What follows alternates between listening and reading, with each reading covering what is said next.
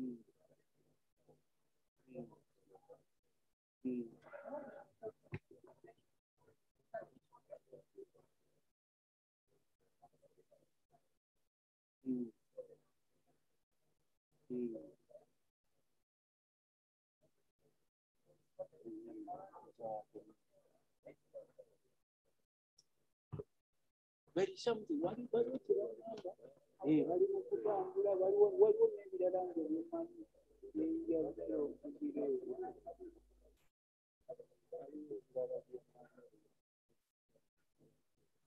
byetaaga oku ayaninga otherwise tuli mu blackout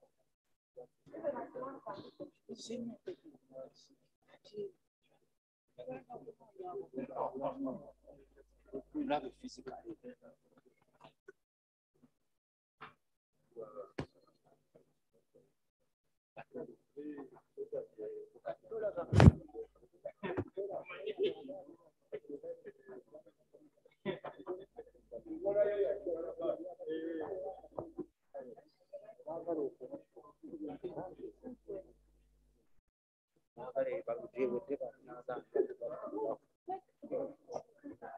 it physically.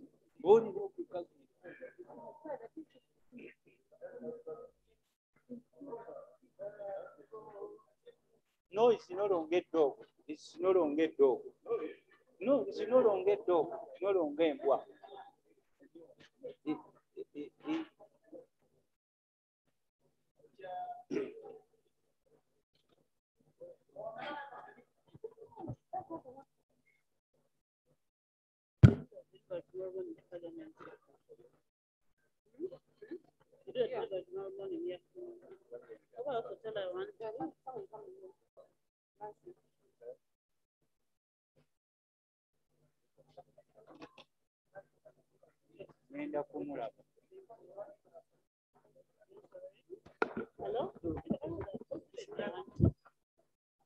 Honorable members, Madam Speaker.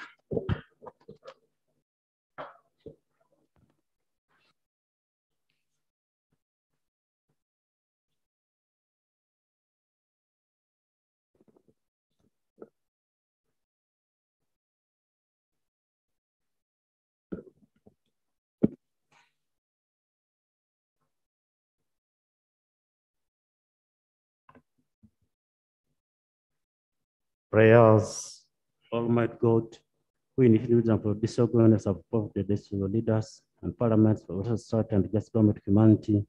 We beseech you to look upon with the favor of your servants, whom have been pleased for the performance of such important trust in this land. Let your blessings descend upon you assembled, and granted may in your presence, treat and consider matters of their deliberation, you so just and fully manner promote your honor and glory, and to advance the good of those whose interests you have committed to your church. Amen.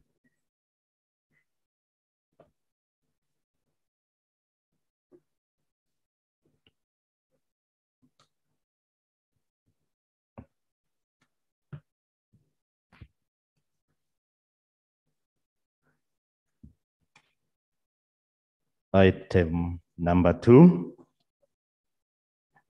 Communication from the chair.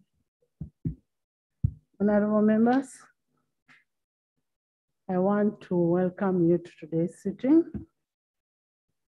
And I want to express my gratitude to you for the great work you're doing for Parliament. I have seen so many committees are working, people are in the field, people are in sports. You're everywhere. Thank you so much.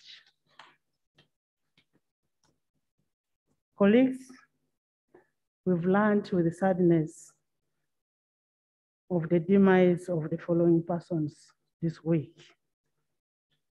Uh, Mr. Mazur Alan, the owner of Casements. I know most of you know him. He has contributed so much to the economy of Uganda. And uh, he has been very instrumental in the revival of Uganda Manufacturers Association. We have also launched the demise of uh, Mr. Robert Elangoto, the former deputy governor. of Bank of Uganda. He served Bank of Uganda from 1971 to 1981. And then as, as a banking, as the secretary to the bank. And then he also served as a deputy governor for some years. So he has been very instrumental in the banking industry. And members, I would request as a house, as usual, that we rise and observe a moment of silence in memory of them.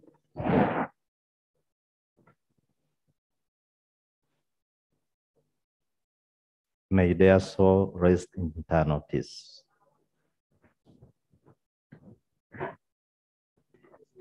Members, I also want to inform the House that uh, our cranes, the girl child, are in Namibia and they are doing very well, very, very well. And we expect good results from the she cranes as we keep praying for them. They will be, they will bring the trophy home. So keep them in prayers. I've also got a communication from opposition chief whip designating Honorable Mbazira Bashir to represent opposition in the delegation of African, Caribbean, and uh, Caribbean and Pacific EU, and uh, Hassan Kironda in OIC, Organization of Islamic Countries. So those members are designated to those committees. I want to thank you again so much. But I also want to ask the House, ask members, I want you to be very careful. I have just seen a bus when I was coming in being blown out around in Mpigi. So we need to be very careful in places we go to, people we interact with, and we also need to tell the people outside there to be very careful. I think there is some something that we don't know that is happening that we may need to know. It's not an easy time, but we need to be very careful. I want to thank you so much. Yes, procedure.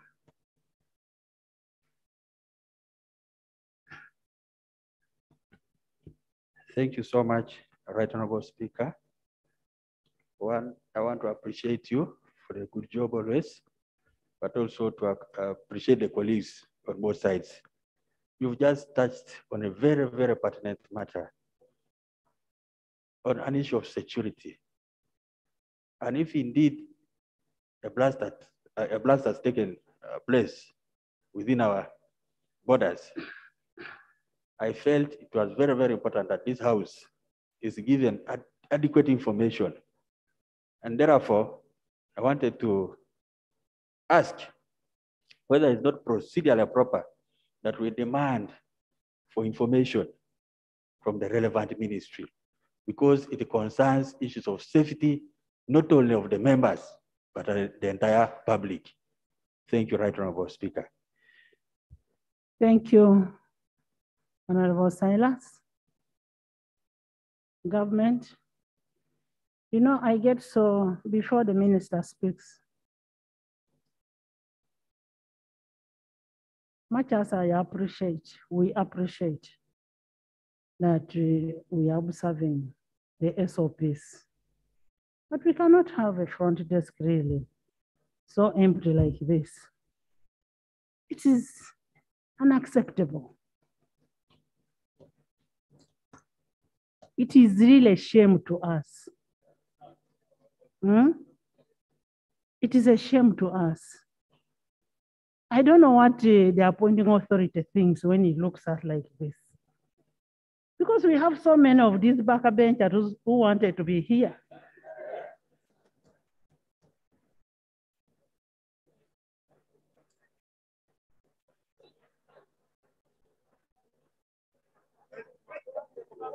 Honorable members, honorable members, I was only expressing my disappointment. And it's not for debate. I was expressing my disappointment. It is so bad. Uh, Honorable Minister of Finance. Thank you, Right Honorable Speaker. Right Honorable Speaker, you have just broken our hearts with, Procedure, Madam with a Speaker. story. Procedure, Madam Speaker. Let him give us. a- Let Madam him- Speaker, I've risen, risen on the point of procedure, whether we are proceeding well because the matter that you have communicated to the Agas House is a very, very important matter. And with the submission of my neighbor colleague, Honorable Silas, I don't think whether we are proceeding well because the Honorable Minister has no any knowledge concerning the security. The fact even if they shoot a bullet, he can run and hide.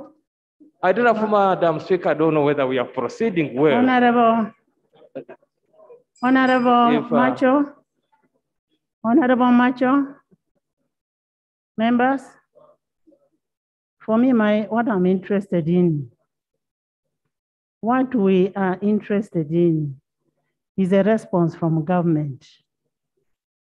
That is what we're interested in. And uh, whether it is from who, but from government. And government is responding. Government, can you respond? Thank you, Madam Speaker, for the wise ruling. Madam Speaker, you have just announced a heartbreaking story.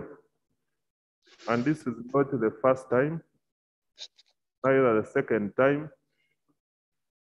I cannot guarantee that will be the, the last time. But what we can uh, guarantee is that the relevant security agencies and the relevant minister will come to the House and give a comprehensive statement from government. Thank you.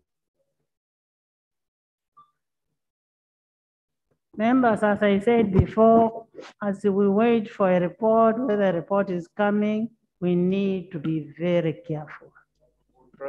We need to be very careful. We need to tell our communities to be careful with the people that they deal with. If somebody is coming with something that you're suspicious, that should be reported. Yes, Thank you, Right Honorable Speaker. Uh, Right Honorable Speaker, while we have made uh, great strides in our fight against coronavirus, it is still a major concern. Right Honorable Speaker, I would uh, like you to rule as to whether we are proceeding well with some members on the government side sitting in the House without uh, masks over their mouth. I can see a member, she's now putting on. So.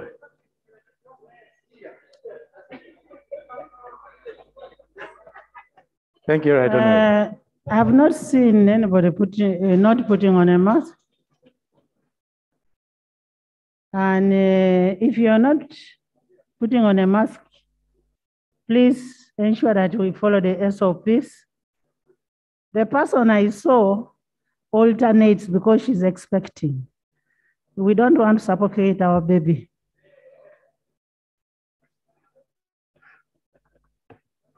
Uh, Thank you, Right Honorable Speaker. Talk about insecurity, Madam Speaker.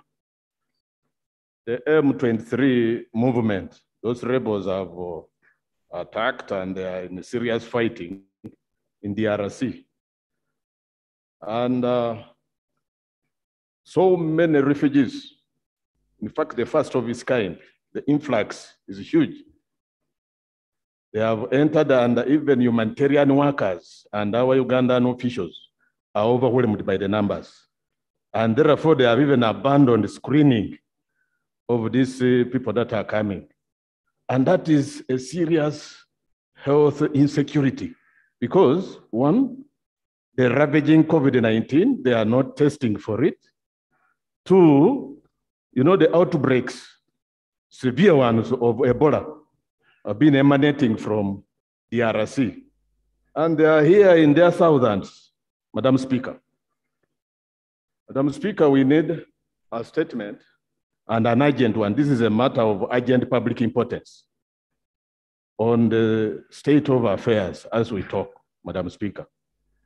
Secondly, and very brief, Madam Speaker, it is a follow-up of uh, the statement that was the leader, the leader of the opposition. The- that statement that was made here on his behalf by the Shadow Minister of Works and Transport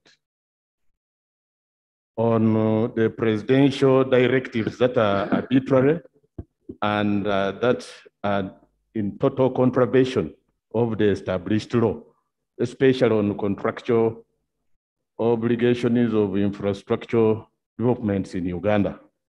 Madam Speaker, you directed that uh, the Land Attorney General would come to this house and give a legal opinion on these uh, presidential directives that have contravened the law, that have constituted himself and the office into a PPDA, and have also uh, contravened the Public Finance Management Act and other actual laws and regulations. Madam Speaker, the Attorney General, who was supposed to have come last week on Wednesday, has not shown up at all. Even up to now, there is no sign of him furnishing this house with that opinion, Madam Speaker. Thank you. Uh, uh, Thank you so much. Uh, Minister of Security will need a- a statement on what you have said on the imprint theory, comprehensive statement on the security matters, and then the directives of, of, of presidential directives. Since there was the same matter which was raised before, and had been referred to the Committee of Infrastructure. I referred that matter to the Committee of Infrastructure that is handling the issue of roads and, and those directives. I am not sure if uh, Attorney General is competent enough to make those follow-ups because they are directed to a ministry. So they will make a report. The report that will come will have an input of the Land Attorney General. Matters of national importance, Ronald? Ronald Nakawa?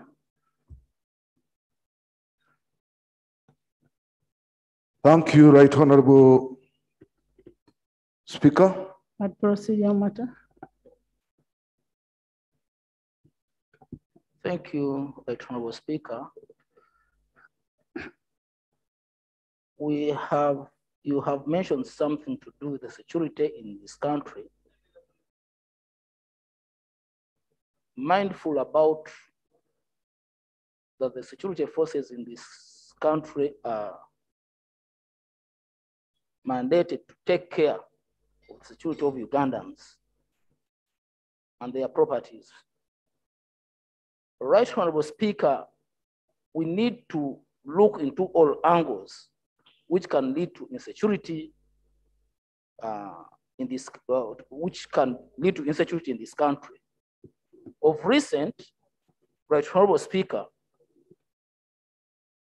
the commander of land forces, Honorable, General Muhoozi Honorable has made it a habit Honorable Kiwanuka, why are you smuggling in an issue? We What have been talking matter? about insecurity in this country. What procedure matter are you raising? We have moved to the next item. The next item is matters of national importance.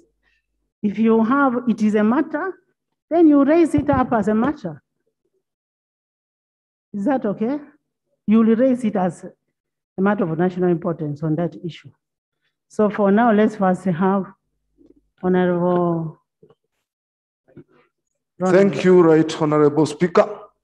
My name is Balimwezo Ronald Nsubuga, Member of Parliament representing Nakawa East constituency. Right Honorable Speaker, on the 29th day of uh, October, a week ago, my area was attacked by unorganized criminal gang armed with uh, concrete pavers, iron bars, and pangas. They hit and injured 18 people from one zone called Mutungo Zone 3 and another five from Zone 2, Mutungo. These people injured the victims, and some of the victims had their skulls broken, like uh, Mr. Obongole. Right, Honorable Speaker, surprisingly, when the community mobilized and arrested one of them, the gang reorganized, stormed the community, hit up the community, and rescued their counterpart.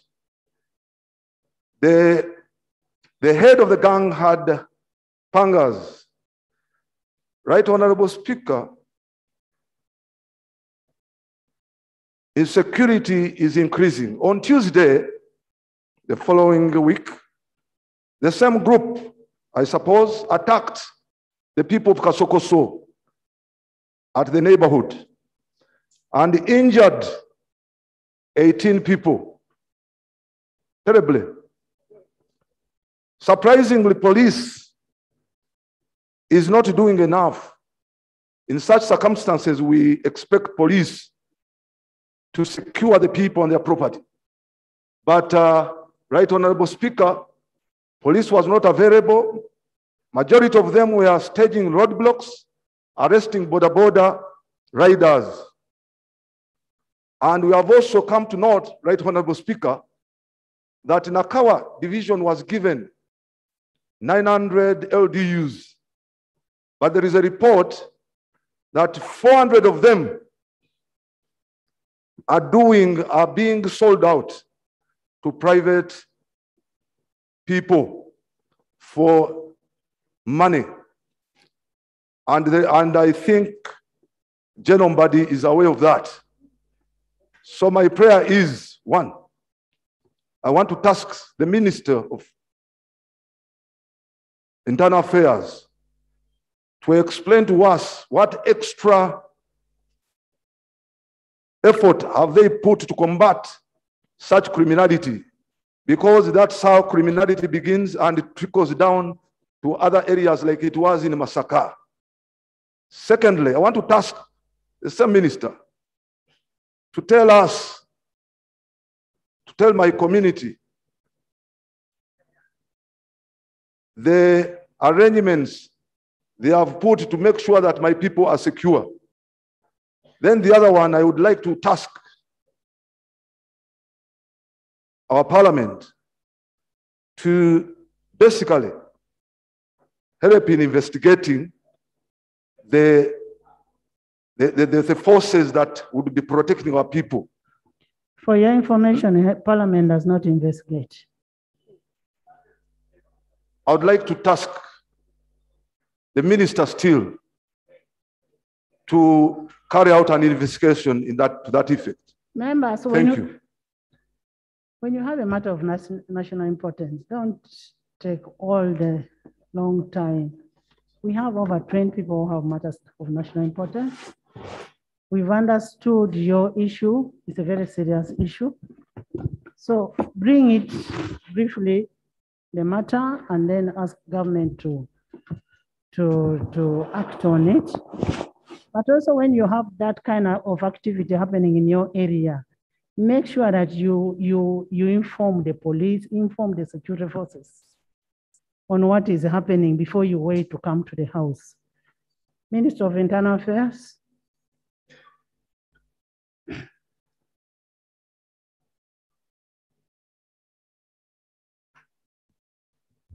Right Honorable Speaker, colleague members of Parliament, have noted the concerns of Honorable Right, Honorable Speaker. I am the last person to raise a point of order against a colleague, especially senior to me professionally. When we were in law school, they told us how to put on a necktie. Is it in order for my brother to put on a necktie in such a manner. I do not want to describe for purposes of, uh, uh, of protecting the record. Is it not in order for him to reorganize his necktie before he addresses parliament? Honorable Segona, the honorable minister is used to you putting on uniform. When you put on uniform, you don't put on a necktie. So honorable minister, it's about substance over form. Thank you, Honorable Segona. I've been uh, out of neckties for a long time, but I'm learning. Uh, Thank you nevertheless. Um, Honorable Balimwezo raised uh, concerns of security in his area, uh, Right Honorable Speaker. I've noted and will verify and return with an answer, but also for the record, I have another version I don't know if this is a separate incident, but I think it's important to inform the House. I'm informed that on the 1st November, around 1100 hours, you organized a meeting, Honorable uh, Balimwezo, in your constituency regarding controversy over the football pitch. And uh, during that meeting, uh, the residents became rowdy, uh, destroying property, including a vehicle registration number UAU 174K Toyota Premio. Police was called in to restore order and some people were arrested, Honorable Speaker, Right Honorable Speaker. And these included Obo Fred, Ibrahim Abdullah, Ahim Siwe Vincent, Ulangwa Wilson, and Cheyune Ibrahim. They were charged but released on bail. This may be that incident or it may be different, but I'll find out and revert to the House with better facts. Order, Madam Speaker. Order, Madam Speaker. You're making an order on what?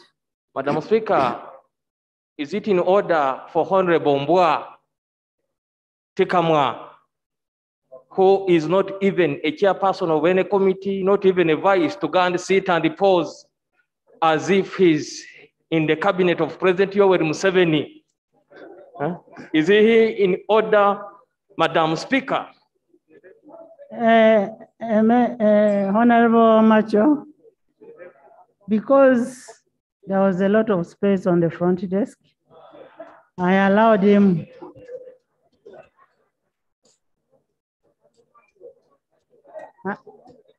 I- allowed free sitting.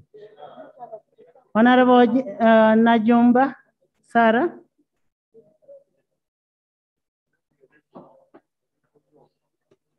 Thank you, And Honorable mat- Speaker. Remember, let it be matters of national importance. Yes. Something that is really so urgent that it must be resolved. Thank you, Right Honorable Speaker. I raise on the matter of national importance concerning a bomb blast that took place in the Cascade District on 29th October, killing three children. Um, killing three children, Pius Chiwau, aged 12 years, Michael Chienji, for 14 years, and Odong, nine months. This took place in Segalia Village, Semuto Sub-County, Nakaseke District. Honorable Speaker, you are much aware that Nakaseke District is one of the areas of the Liberation War of 1980s. We've been losing lives due to the explosive devices that were abandoned during the Guerrilla War. And on this note, Honorable Speaker, I request the Minister of Internal Affairs to give a comprehensive report on this matter and even a way forward, because we are keeping on losing our people. Even last year, an incident happened in Kalagala Parish, Wakyato Sub-County, injuring three people, and in Kinyogoga, where we lost a life. So I request the minister, and I'm happy he's around, to give a comprehensive report on this matter. And also I request the government of Uganda to compensate these affected families. I've seen I've seen the president of Uganda several times, meeting people like those of Masaka. Honorable Segona, can you please give me the information? Thank you, um, Right Honorable Speaker and the Honorable Najjuma. Because it is a matter No, of Sarah has national become the speaker. No, no, I said thank you, Madam Speaker and the Honorable Sarah. Najjuma. Okay, Right Honorable Speaker, the information and which is critical and is a matter of national importance is something I thought the minister would have uh, addressed Parliament on. This news circulating on social media of a new bus having been burnt in Mpigi, uh, and it is scaring enough. I thought the minister would also advise us whether it is true or just alarming. And that's the Uh, information Minister. in relation to bombs. can you give us uh, a clarification on that? It was in my communication because I saw it on social media. So you never know, it is just a social media. No, it isn't, uh, Right Honorable Speaker and honorable members. There was indeed an incident on Masaka Road at Kamengo to be exact. Uh, A bus caught fire and the information filtering in at the moment and not yet complete is that she developed mechanical conditions uh, which forced the driver to stop. The passengers alighted fortunately, but it caught fire nevertheless. The fire tenders are on the way. And once the fire is taken out, we shall verify to know the cause, whether it was uh, something not related to the current threat of terrorism. That is what I can say for now regarding that incident. Yes. Sarah was still on the floor. Procedure on what he has just said? Okay. Uh, Thank you, Madam Speaker. I'm raising on a point of procedure. After listening from Honorable Balimwezo and now the Honorable from Nakaseke and what the minister has replied. Madam Speaker, I appreciate the concerns of colleagues and the security that is happening behind. Wouldn't it be procedurally right that much as it is a matter of uh, importance, to first sort it from the police there or even other security, and then when it fails completely, then we come and task parliament uh, to say that, because it, it is, I I see that is coming on this, that, and yet some of the things can be sorted even before coming here. Much as I appreciate that we can talk for our people, but let's also consider parliamentary uh, time. Thank you, Madam Speaker. Is it But- but, uh, right? But of course, uh, Honorable, that's what I mentioned in my statement to Honorable Ronald, that when such as, uh, an incident takes place, that you need to report first to the security agencies uh, and, and see what happens. Uh, the issue is, did they report? What was the action taken? And uh, what is the current situation? That is where the issue is. And of course, you can't stop members from talking about their constituencies. Eh? That's why they are here. Nathan, Nathan, there's, is it on the same issue? Yes, Madam Speaker. Madam Speaker, thank you so much. Madam Speaker, Parliament is, has a lot of business to do. And uh, one of the reasons why we are making Parliament not become interesting is only matters of national importance. And matters of national importance, some of them can be resolved at local level. We have even a Thursday where members should raise their business. I have watched this order paper, Madam Speaker. The bill for NSSF has been here even to this year. I don't know how many times it has appeared on the order paper. And yet this is a matter which should have been resolved for our people. Madam Speaker, I know your office is very good and everybody wants to come there. But this matters of national importance.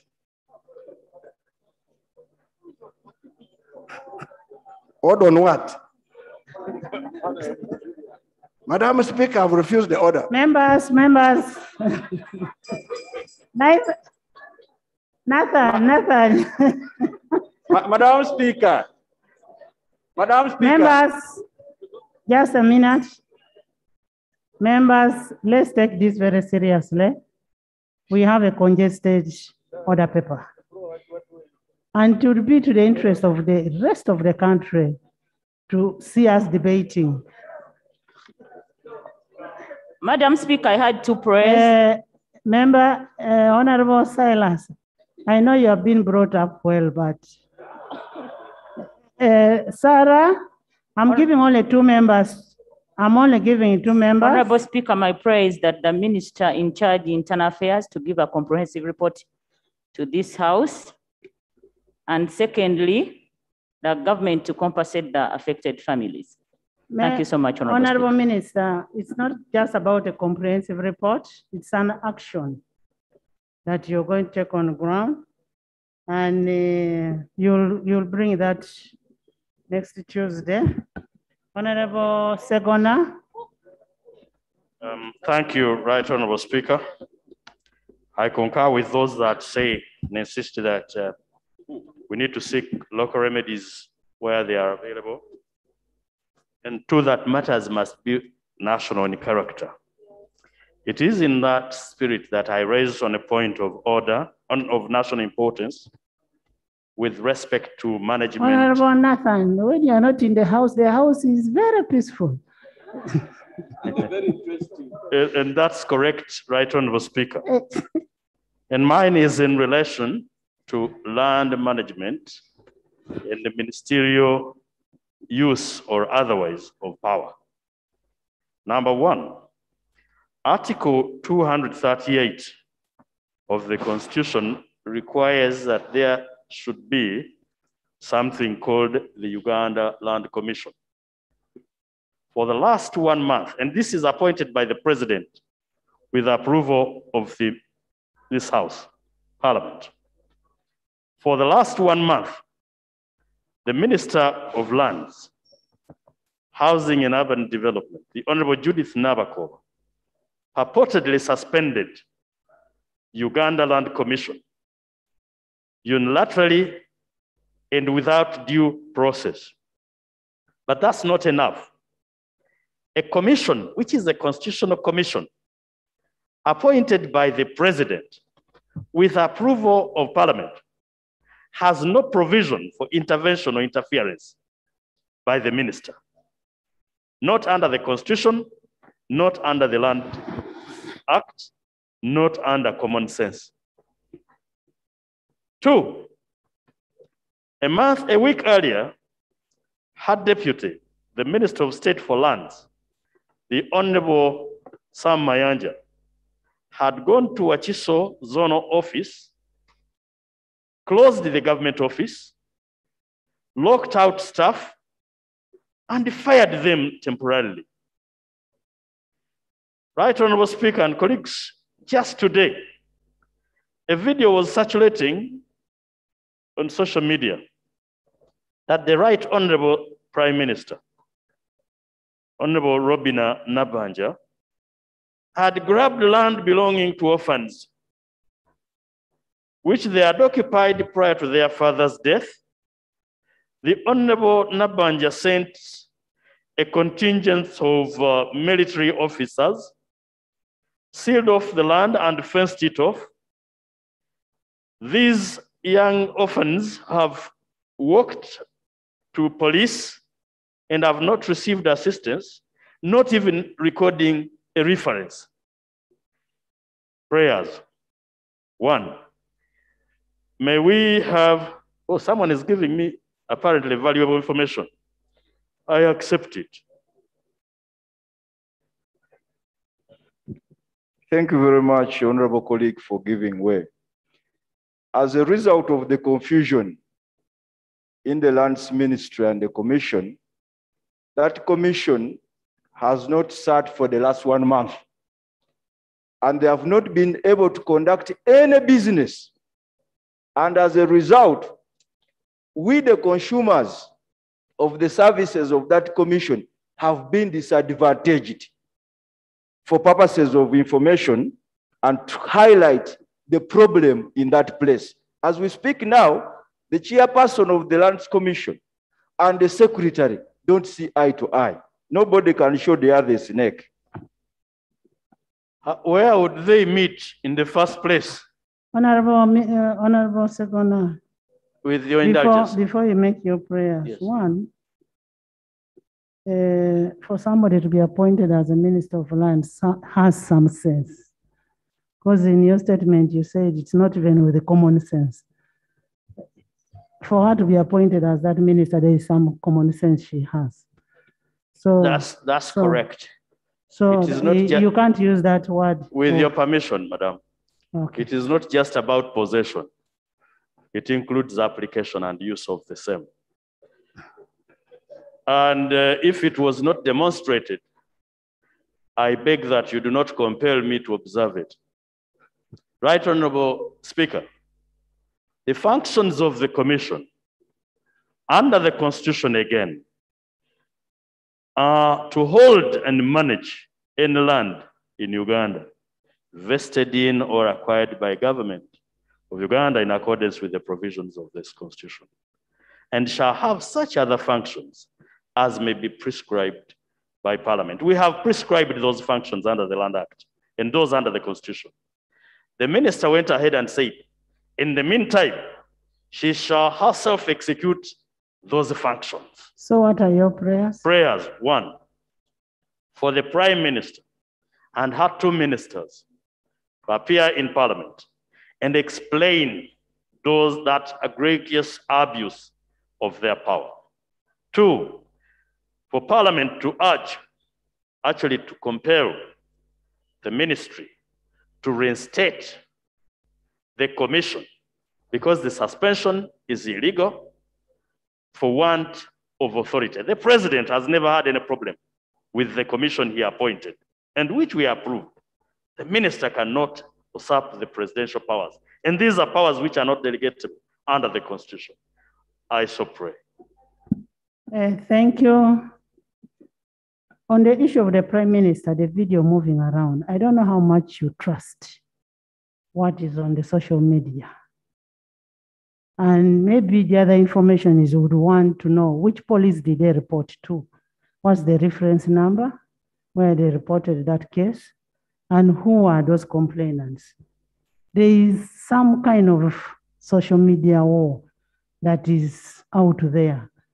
So you need to come out with all the facts on where they reported and, uh, and uh, who are those people who are on social media. Government, Thank you, Madam Speaker. Madam Speaker, the Honorable Segona raises specific issues in the Constitution and also goes further to mention the minister responsible for the actions which have been taken.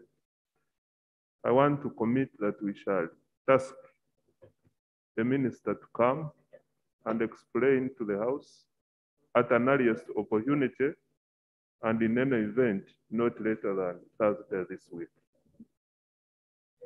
thank you. Uh, the minister should come and report on Thursday.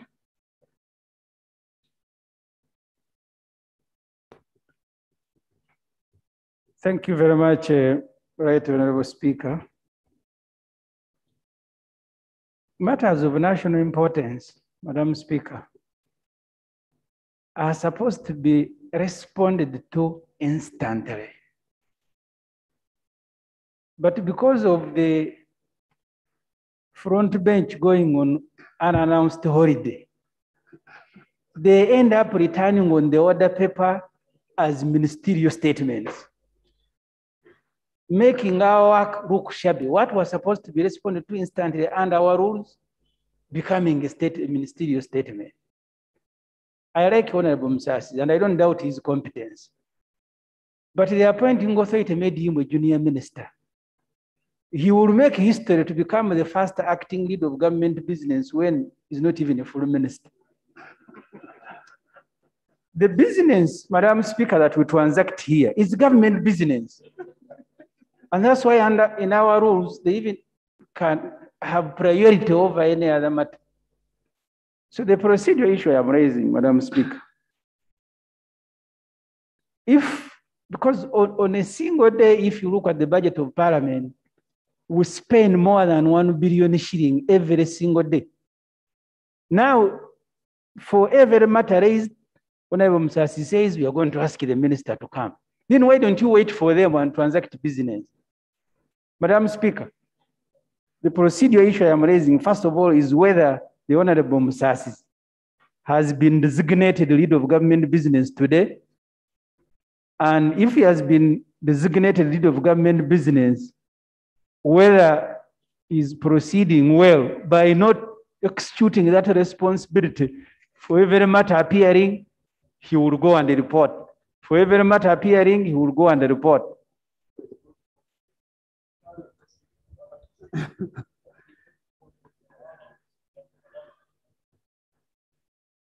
Right, Honorable Speaker and colleagues, the office of Prime Minister is a creature of the Constitution. In fact, it was brought by way of an amendment, having recognized that there is a lacuna. There was a lacuna then. And Article 108A provides for that office and provides that the Prime Minister shall be the leader of government business in Parliament and be responsible for the coordination and implementation of government ministries across ministries, departments, and other public institutions. Perform such other functions as may be assigned to him or her by the president, or as may be conferred on him or her by the constitution. The prime minister consistently is absent except when she comes to bring a, a statement. I am also made aware that the president, in his wisdom, appointed a deputy prime minister who is also the deputy leader of government business. Is it in the same line, procedurally correct, that we keep receiving ministers performing functions which are not conferred by the constitution or the president, in particular parliament, and therefore relegating this house to a secondary position when it is actually their primary responsibility to attend to. Madam Speaker, you can even see the Honorable Musasi, even if he has to sit where the Prime Minister has to sit, he can't even sit there. Members, I got a communication. Members, I got a communication delegating Honorable Musasi uh, as a government chief whip. I did not get any communication from, from the Prime Minister. And he's acting as a government chief whip. And he's going to deliver the information to the responsible ministers. And uh, of course, we can't suspend the house because people are not here. We need to do our work. But at least a lesson goes out, a warning goes out that we have so many ministers in prime minister's office. We should at, at one time have one. We should at least have one representing the prime minister here and uh, perform the role of a prime minister and lead of government business. Procedure, Madam Speaker. Yes. Madam Speaker, thank you so much. Uh, the procedure issue I'm raising, I just want to give a historical background. In the last parliament, whenever there was no leader of government business and chief whip, Honorable Bahati from Kigezi in Kabale was always uh, the one delegate. And now today, I am seeing Honorable Musasi again from Kabale in Kigezi. The, the procedure issue I'm raising. Is it the procedure I'm raising? Is it only Kabale people who who are capable to lead the house would be delegated when, when the prime minister is not around, when the chief whip is not around, and by the way, they are always state ministers. So is it procedure right that they are the only ones, or wouldn't it be better that the president appoints the people of Kabale to be leaders of government business and the chief whip?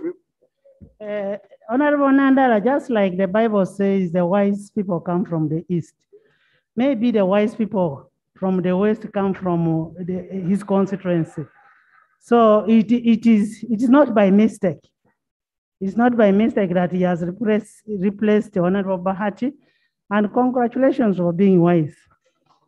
Uh, honorable members, we are taking a little bit a long time on this. Can we go to the next item? But in the public gallery this afternoon, we have a delegation of women and equal opportunities desk of Moroto Catholic Diocese.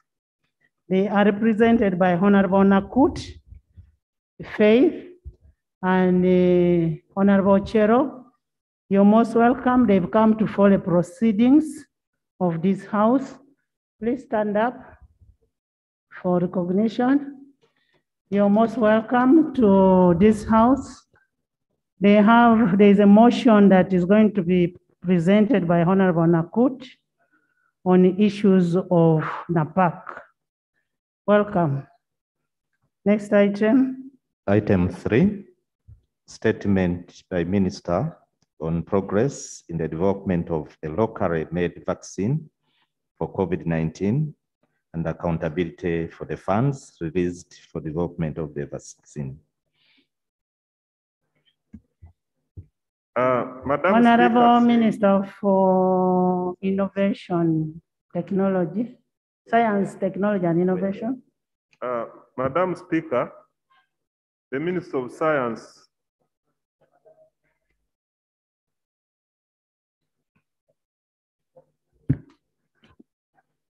Thank you very much. Madam Speaker, on Thursday, uh, you tasked me that I shouldn't lay myself there because I was a moving encyclopedia. I had all the information. You said you needed papers. And I think it will be procedurally right before the minister or before my colleague, Honorable Minister of Finance, uh, takes up the docket of the Minister of Science to give you, you give me chance, I give him more information or her, such that we don't discuss in piecemeals, we discuss from an informed point of view, since you wanted information. Please lay the documents. I asked you for documentary evidence on the allegations. Lay the documents at table, and then the minister will come with a response.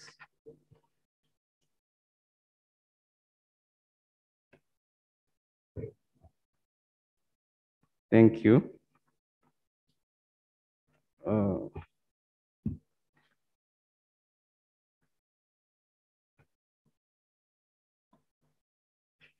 Madam Speaker. You also tell us the source of the document, where you got it from.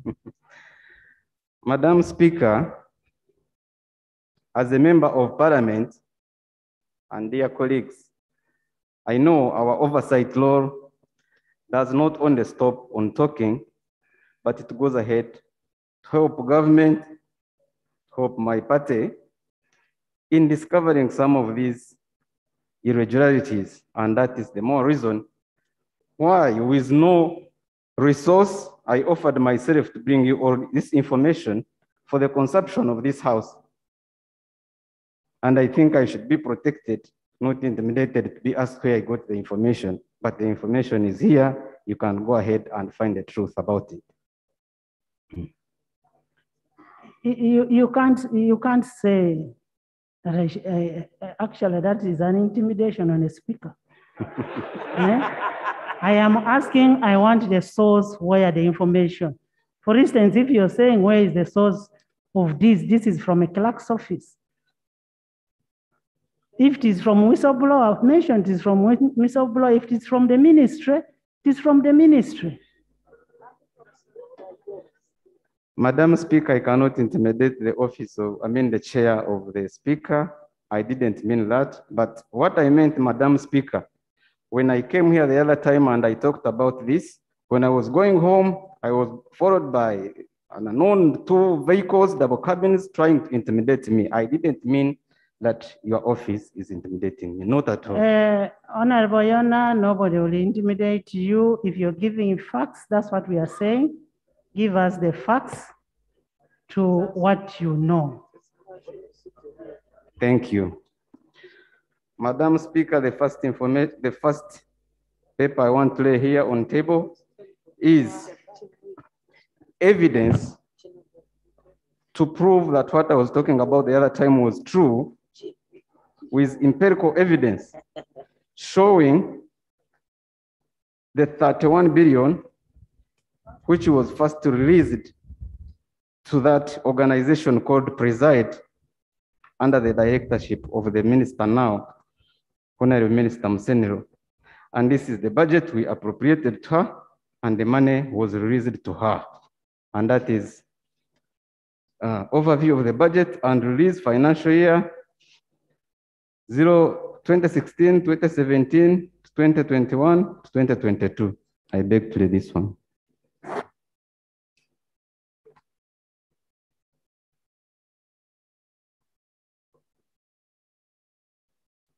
Madam Speaker, I want to lay on table a summary of project budget allocations. When this money was sent to preside, it is purported that she preside disbursed money to a group of scientists, of which some of them have denounced themselves and dissociated themselves from the so-called money that came to them. And one of them is a doctor at Uganda Virus Research Institute, whom she purportedly said and wrote down in her paper here that she sent her money to a tune of 100 of 1.8 billion shillings, and the doctor, as of today, has never seen the money and has refused to be part of this report. I won't play this one, and many other doctors who are here. Summary of project budget allocations. And indeed, when you ask her the procedures she followed in channeling the 31 billion to different doctors, she cannot tell you the procedure she followed. She handpicked a few of them. Even those whom she handpicked, some of them have denied her.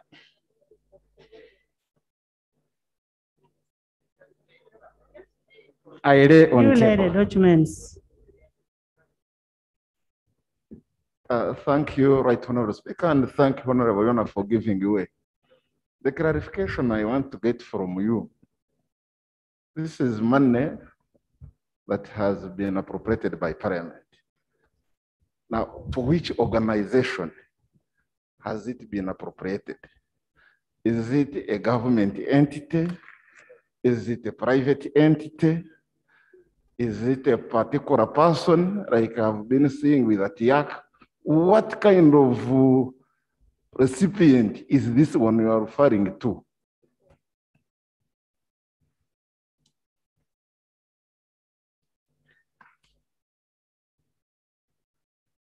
Thank you, my dear colleague. That preside, in its definition, it should be an outfit or a company. It's not registered anywhere, and it is accessing big sums of money under the disguise of a group of scientists who have come together to produce for us a vaccine called corona vaccine. That's how I can define it. But it is not a government entity. It's an initiative or just an outfit. She can give more uh, definition of her organization. But she's, we have appropriated it money. We have given it 31 billion. And as of, we, as we Uh, talk today, Honorable Wilfred, there was an issue of innovation, eh, science, technology, and innovation.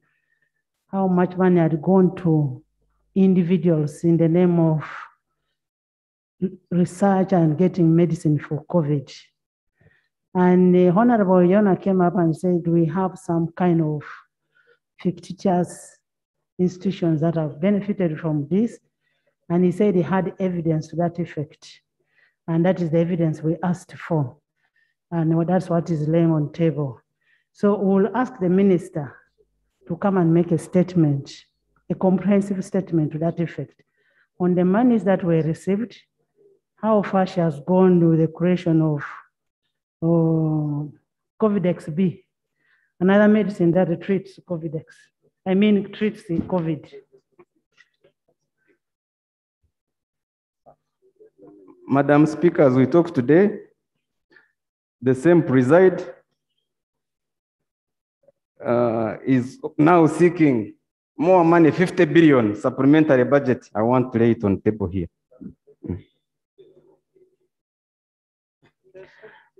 Madam Speaker, preside is very strong that it can even be stronger than institutions of government. I have a paper, a letter here headed preside, writing to the Minister of Finance, requesting to hold transfer and expenditure of funds for financial year Yana- 2021. Yana, Preside is asking for a supplemental as what? A government entity or a private entity? Uh, if I can read everything here, supplementary expenditure for financial year 2021, 2022. Uh, I see audit, they are writing to the Auditor General's office. My ministry, which is the Ministry of Finance and Planning, has received an additional supplementary funding requests to finance recurrent and development activities under various institutions, financial year 2021, 2022, as detailed below. In that demand, there is funding for vaccine manufacture. And brackets preside 50 billion, 400 million. It's here, the letter is here, I Please can lay on table, next. Le- Yes. A chair, this is a chair of uh, innovation.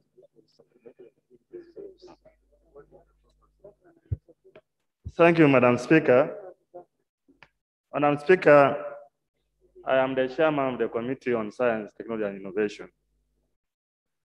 And my brother here, Yona Kanyomozi, i- Yona Musinguzi, Yona is a member of- that committee. And over the last few months, since the committee started its work, we have been engaging the Ministry of Science and Technology to see its direction after its, its vote was transferred to State House. A number of these questions are already before the committee. A week ago, I asked the minister to prepare a report, five reports. One of them is on preside. It's actually an abbreviation.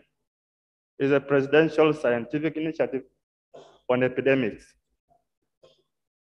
It's just a, an initiative of the president, but put under Ministry of Science and Technology. We also requested for a report on sericulture. We requested for a report on banana. We requested for a report on uh, Order, Madam Uganda Speaker. Research Institute. Order, All I'm Madam driving Speaker. to is some of these documents are Order, already Madam before the committee. And the report of preside is precisely Order, before Madam me. Speaker. Order, Madam Speaker.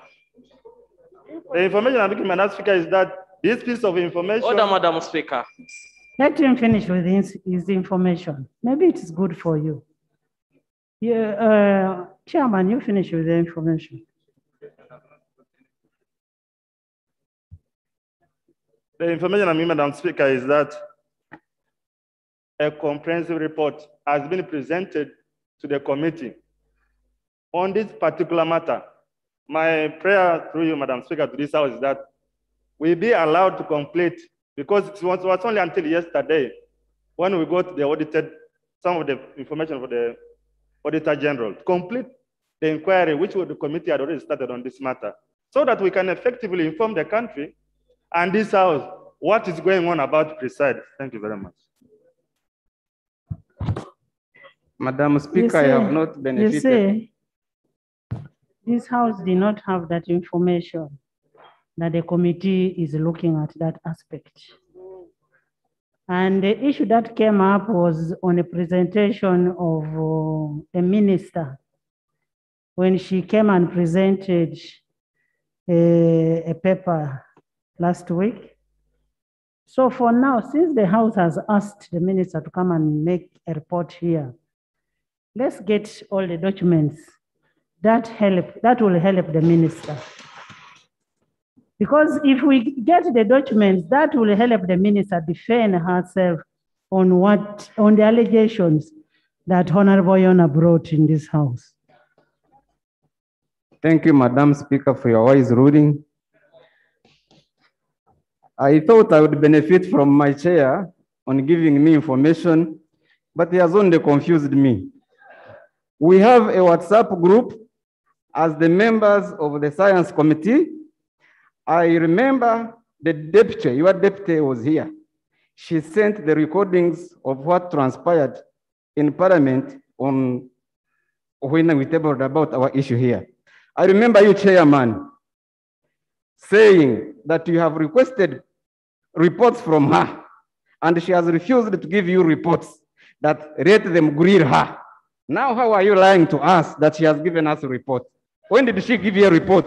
Did she give you a report alone? Come and give us this report. Show me that report, Mr. Chairman. So, so Honorable Yona, so could it, could it be that you're smuggling information from the committee to the House?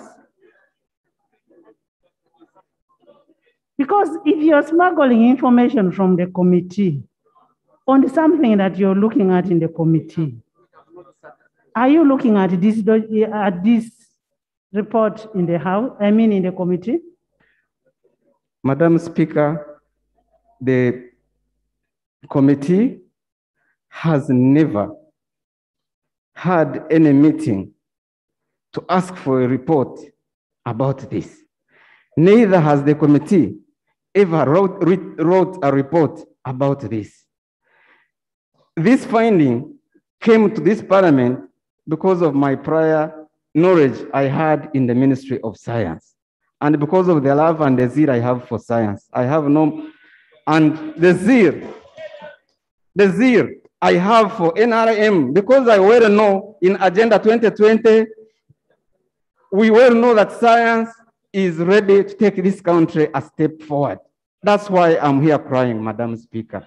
And Madam Speaker, I beg that I read these papers. Can you lay those papers and mm. I will refer that issue Thank to you. be looked at by the committee and report to this house? Madam Speaker, I want to lay a paper where the minister, by then when she was a director of preside, when she was writing to the Minister of Finance to halt, request halt transfer and, and expenditure of funds for financial 2020 and 2021 for Ministry of Science, Technology and Innovation, signed Dr. Musenero. In this letter, Madam Speaker, what was her interest? She's not yet a minister. She's not yet sworn in as a minister, but she's still writing to the Minister of Finance, not fund the ministry. What was her intention? To serve Uganda? Lay the papers. I beg to lay it there, Madam Speaker. Madam Speaker, to make matters worse, I have a big report from the Attorney General querying preside itself. The Attorney General, Auditor General, on 8th of June, a special audit finding on COVID-19 related funding to the Ministry of Science, Technology and Innovation for the first three quarters of financial year 2020 to 2021. The Attorney General, the Auditor General is asking about how did preside begin? They did not do any feasibility study. And Madam Speaker, a project that does not have any feasibility study is doomed. That means they are going to do nothing, Should shoddy work. The Auditor General says. You lay on the table. Madam Speaker, I beg to lay.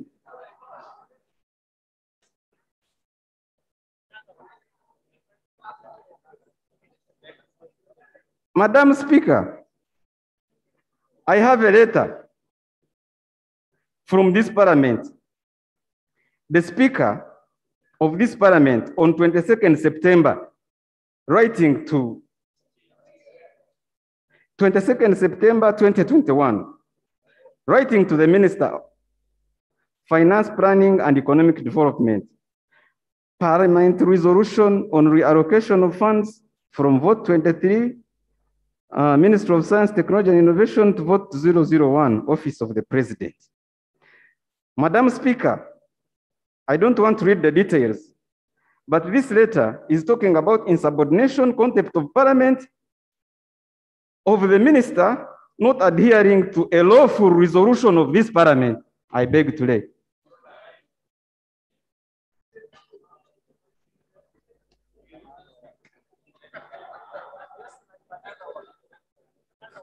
Madam Speaker, I want to lay on table this paper which talks about preside officials impersonating as government civil servants. And one of them, number four, is Dr. Masanza Michael, who is the husband of the minister. And we are allocating money to that preside. Madam Speaker, this is a serious conflict of interest.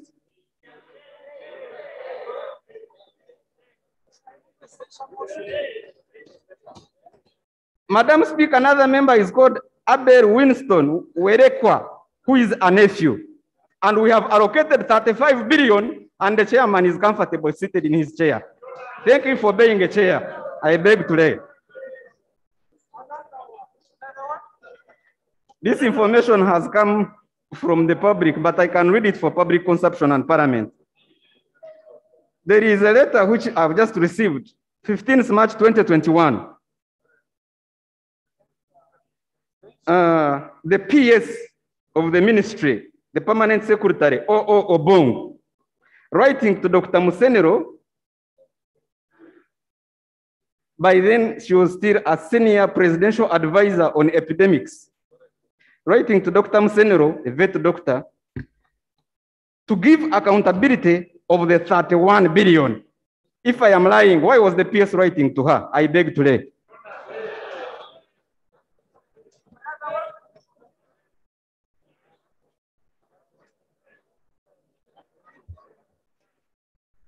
Madam Speaker, I have a memorandum of understanding between Preside and the serum company or in India called Samri, which is a manufacturer of vaccine, the biggest manufacturer of vaccine in India, signing a memorandum with Preside. So, Madam Speaker, I beg to lay. Are we going to buy the vaccine from serum or we are going to innovate it under, under, under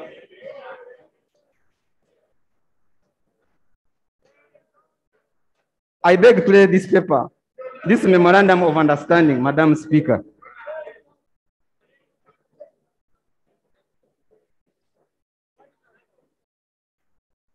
Madam Speaker, as a scientist of this country,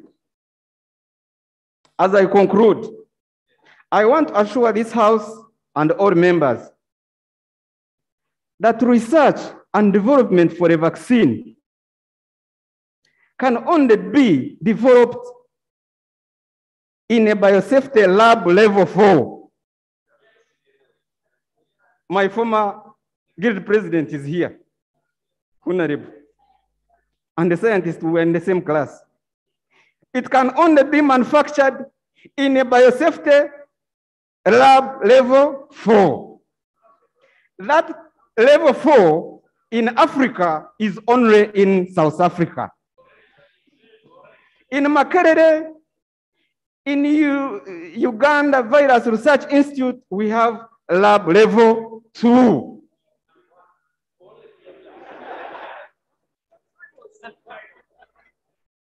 Madam Speaker, I don't want to underestimate the knowledge and information of our doctors, which they have acquired over time, because we know the best doctors in South Africa are Ugandan, some of them. But do we have the laboratories to do the work they are doing there here in Uganda? Madam Speaker, I have no intentions. Madam Speaker, as a former scientist, when I lost my position in parliament here, I presented my paper about post-harvest in America before Monsanto. I presented my paper before Bill Gates Foundation, and I earned some money which government taxed me, taxpayers' money. I brought money here. So as a scientist, when I see masqueraders, a doctor of veterinary, masquerading that she can make a vaccine, we appropriate, she uses this parliament to give her money. And my comfortable chair comes here to lie the parliament that we have been talking about this. Where is the report if you have talked about them? I beg to move this house that this lady, the honorable minister, who was charged with the responsibility, the president is suffering a lot in, this, in his speech on the on his national address, the last national address. He said this parliament should Honorable help Your him. If you're done with it, if you're, if you're done with the, with the. I summarize, Madam Speaker. He said in his speech, this parliament should help him to curb the corruption that we have in this, in this country. As a member of parliament from Ntungamo, I know when we are going to campaign, we as NRM, we suffer a lot. Why do we suffer? Honorable Your Honor, are you done with the lane? Madam Speaker, in conclusion, one minute. Why do we suffer? Are you Because- debating, are you debating on your papers? I'm still Lay laying. the papers if you're There is, done. there is one last one, Madam Speaker. Mm. Yes, Mm. Madam Speaker, in conclusion, corruption is a vampire that has sucked the blood of this nation, and we sit and dine with the vampires. We should no, no longer call them mafias, but they are vampires, and they should be arrested and brought to book. Information. Madam Speaker, I keep this one for myself. But for my security, Madam Speaker, on Thursday, two vehicles followed me, and I know you have enough security. I will not move out of this parliament before you give me one security. thank you. Members, members, please. You know,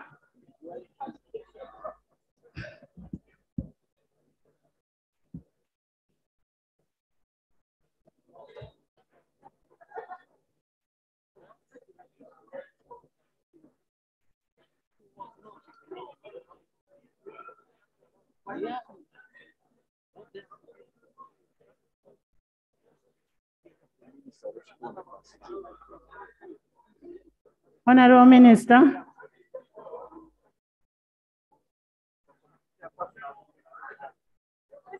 Honorable Minister.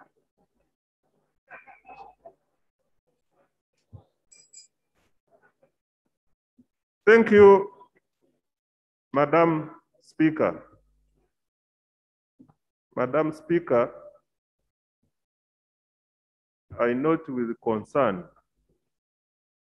the issues my brother Honorable Yona Musinguzi has raised. Madam Speaker, I would like at the same time acknowledge the contribution of scientists to this country and this economy. Madam Speaker, with this new development, together with the submission from the chair of the committee, I want to beg that if we are to have a meaningful debate in this house, we be allowed, first of all, to examine and verify the documents which have been presented before the, before the House, and also be given chance to fully sit down and respond.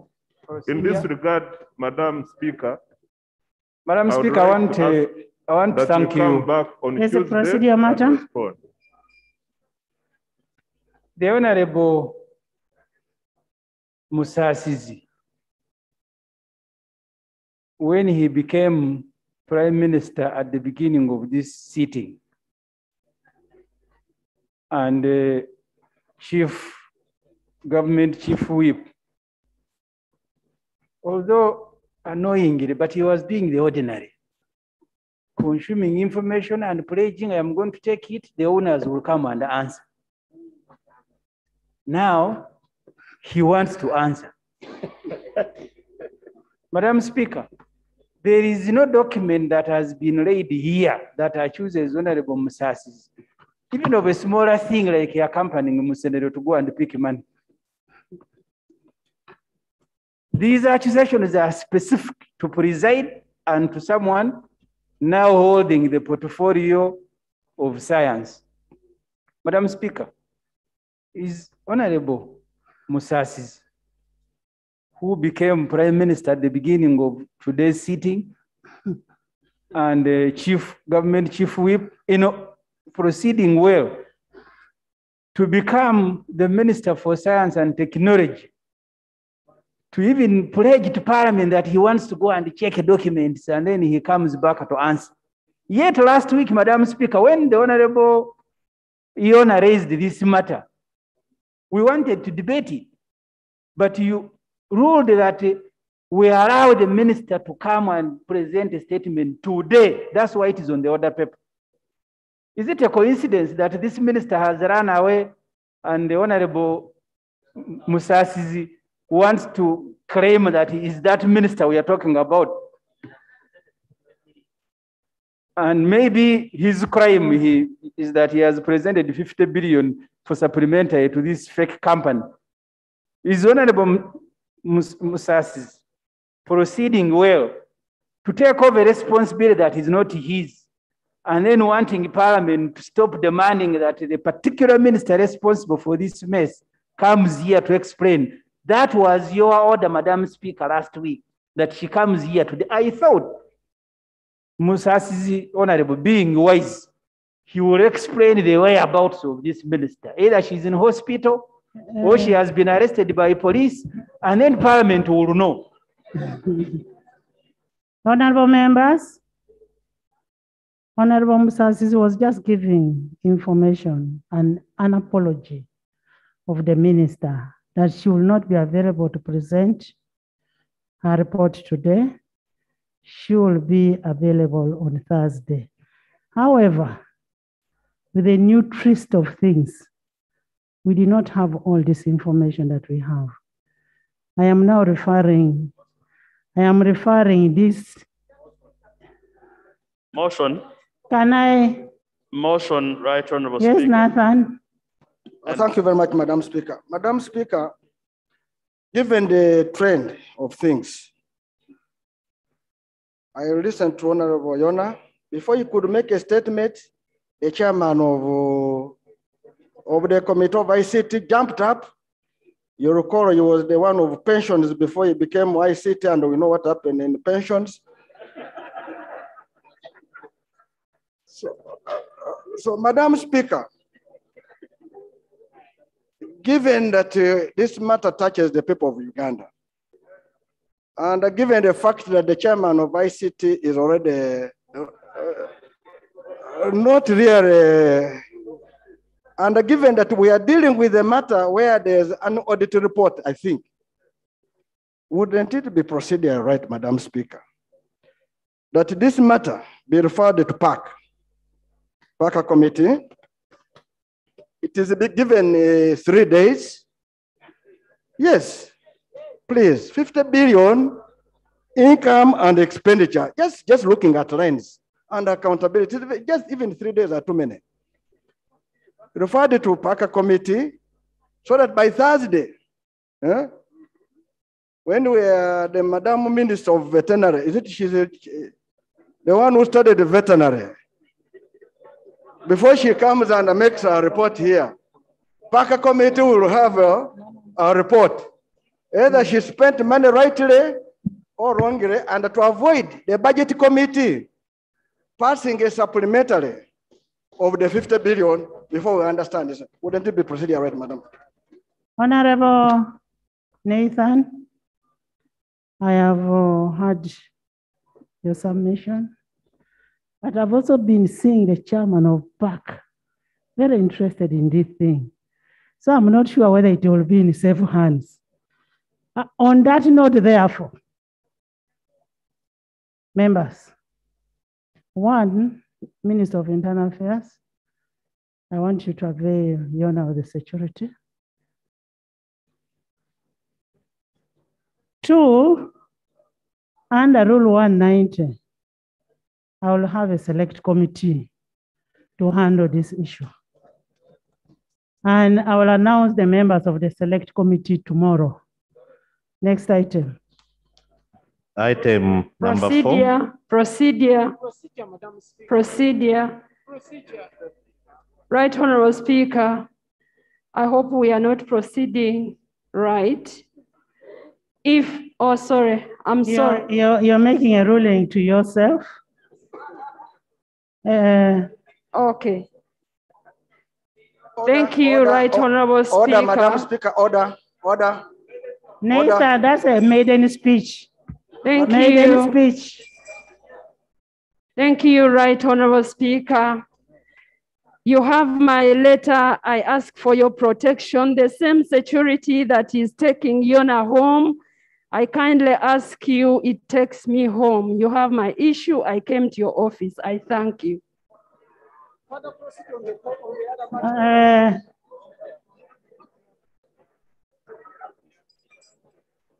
Members, members,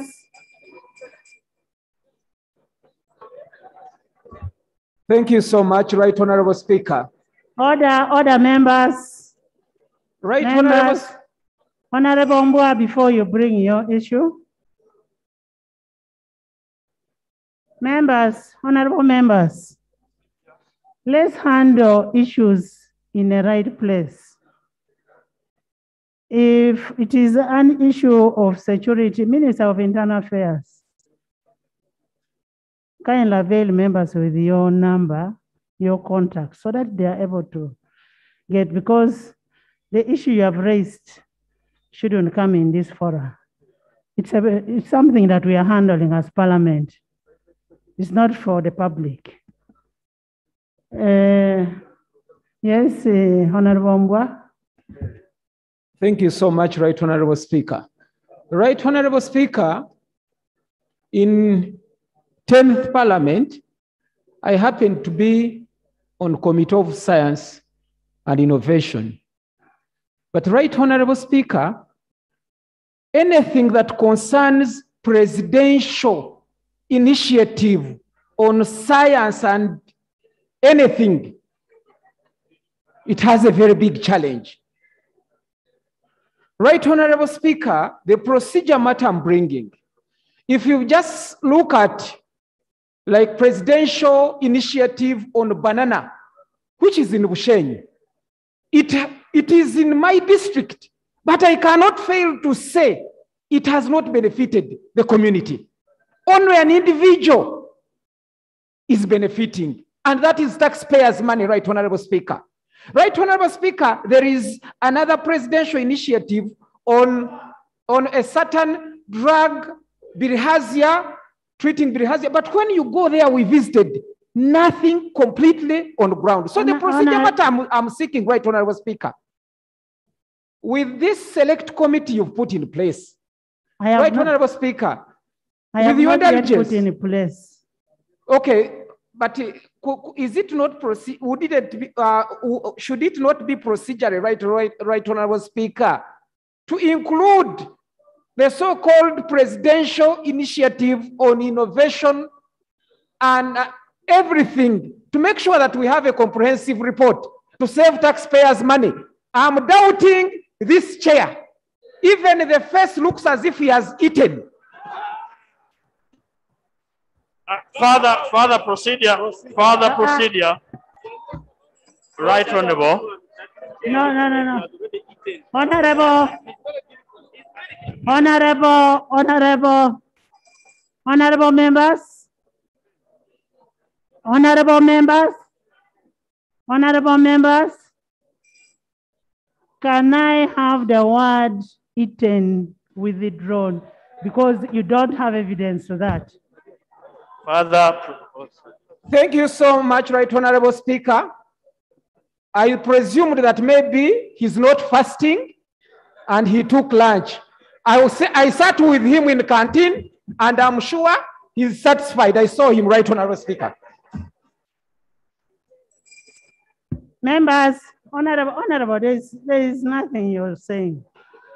Members, on the terms of reference of the committee, that will be further procedure, procedure, Right Honorable Speaker, with your permission and indulgence. Right Honorable Speaker, Right Honorable Speaker, a lot has been said about my sister, the Honorable Musenero, Dr. Musenero, including matters that touch integrity, especially in her absence, to the extent that even her family has been mentioned, and I'm talking about the husband and nephew.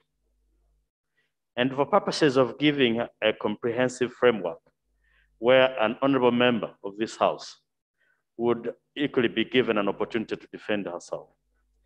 Is it not procedurally right, therefore, that you permit the house to move a motion under rules 16, 57, and rule 190?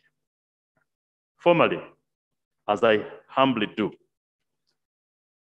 that you constitute, the House constitutes a select committee with comprehensive terms of reference, incorporating and encompassing whatever has been said about the Honorable Minister, and tasking the said select committee of your choice in accordance with the rules to investigate the matter and bring a report in accordance with the rules of this House.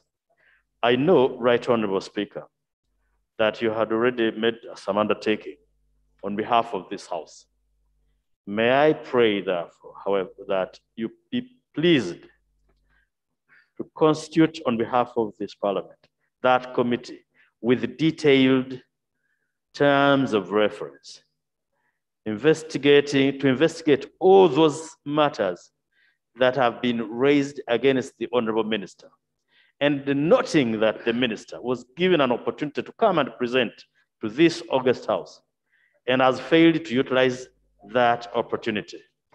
I do not want to go to the extent of saying that she sent the Honorable Musasizi because some of the matters have risen on the floor. But this is a perfect opportunity for the honorable minister to defend herself, especially when we are faced with a request for supplementary, going to the same person when there are all these queries. I'm also alive to the fact that we have a committee responsible for this particular uh, ministry. However, with the confusion that you have seen on the floor displayed between the leadership and membership of the committee, I think the committee may find itself compromised in terms of providing uh, comprehensive results for this House. I beg to move. Members, is the motion mo- uh, seconded?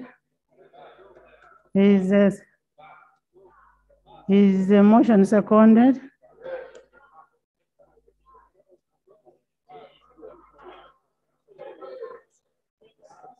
Members, now you're discussing the, the, the, the merits of the matter. I put a question that those in favor that we select, we have a select committee to investigate uh, technology, science and innovation. Those in favor say aye. Select committee. And the contrary, no. Aye. Members will give the select committee terms of reference. Item four, Procedure. The, the members who are talking about PAC, you'll, you'll learn the rules, what PAC is supposed to do. Look at the, the audit reports.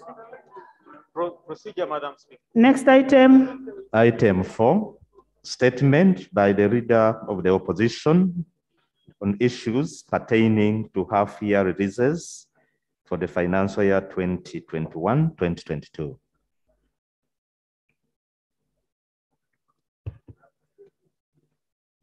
Uh, Thank you, Right Honorable Speaker. This statement, and for information, I'm holding the fort for my superior, the leader of the opposition.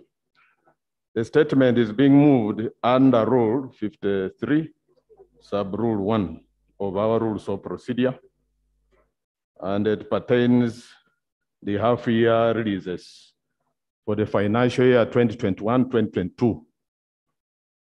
As you are aware, execution of our national budget is controlled through quarterly releases. And this one is only concentrating focus. The analysis is only on quarter one and quarter two. Quarter one from July to September, quarter two from October to December, Madam Speaker. And um, I'm going to usher in my line minister, shadow minister of finance, the Honorable Muwanga Kivumbi, to read this statement on behalf of the leader of the opposition.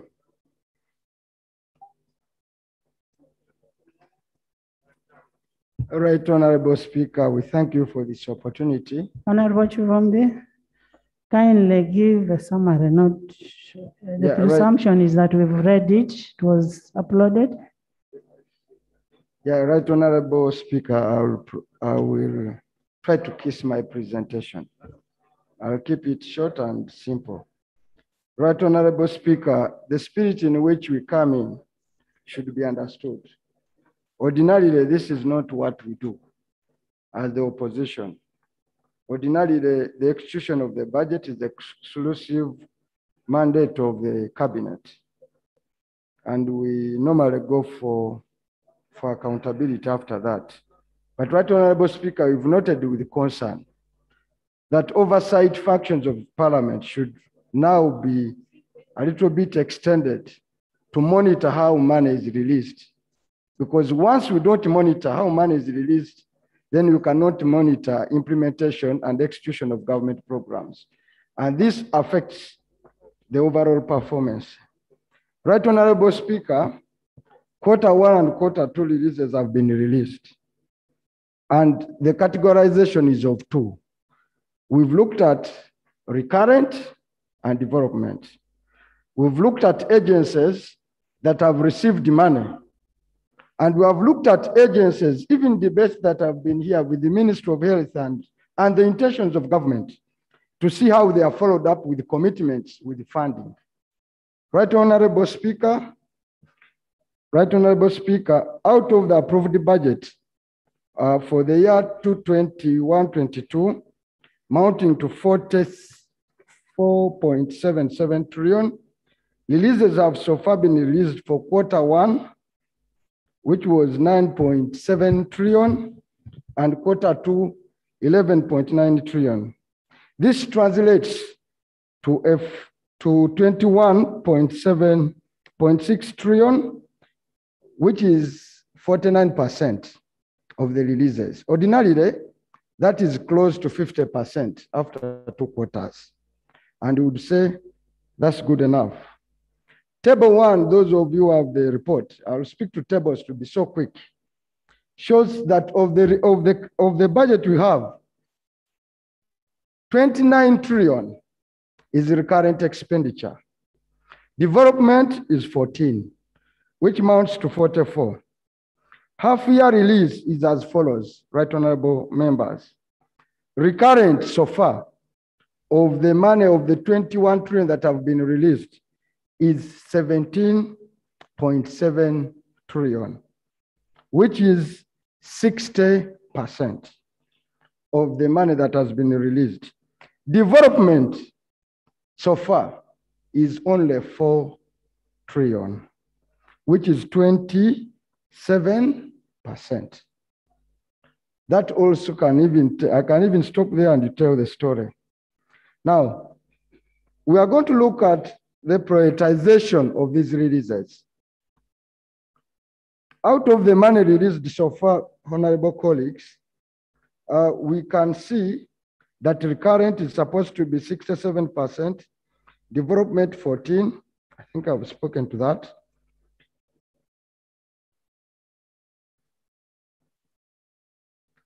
When you look at the 17 trillion released, honorable colleagues, or 21 trillion released so far, 17 is recurrent, which translates of the money released to 82% of the money that we have released in the two quarters have gone to recurrent expenditure. Development, therefore, has attracted only 18%, and we are half year releases. Right, honorable colleague, that means that of all the money in the district out there, in our constituencies, in our localities, most of it is for salaries and other things. There is no money whatsoever for doing development work in half year. I've also highlighted in table four agencies on how agencies that have received big sums of money.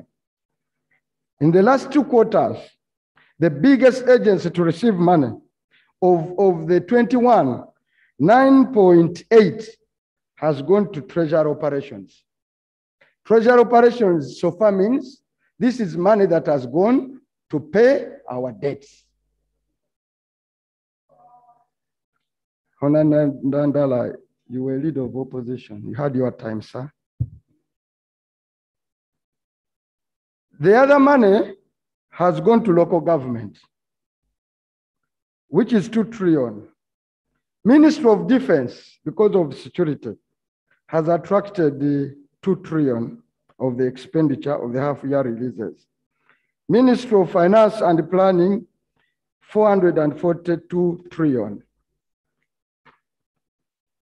Ministry of uh, Uganda Police Authority, 500. Uh, Uganda Police Force, 501 million. National Medical Stores, the one that buys drugs, 348 billion. Parliamentary Commission, 400 and, uh, 476 billion. Uganda Revenue Authority, 267 trillion. Ministry of Gender and Social Development, 177 million.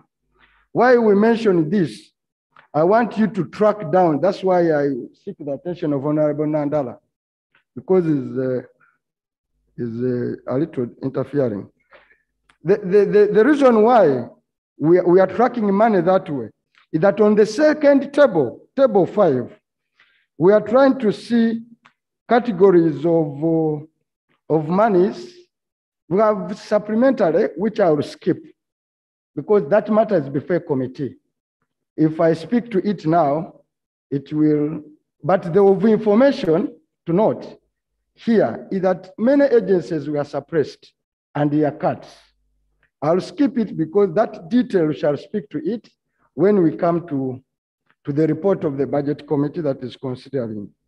Now, on this table,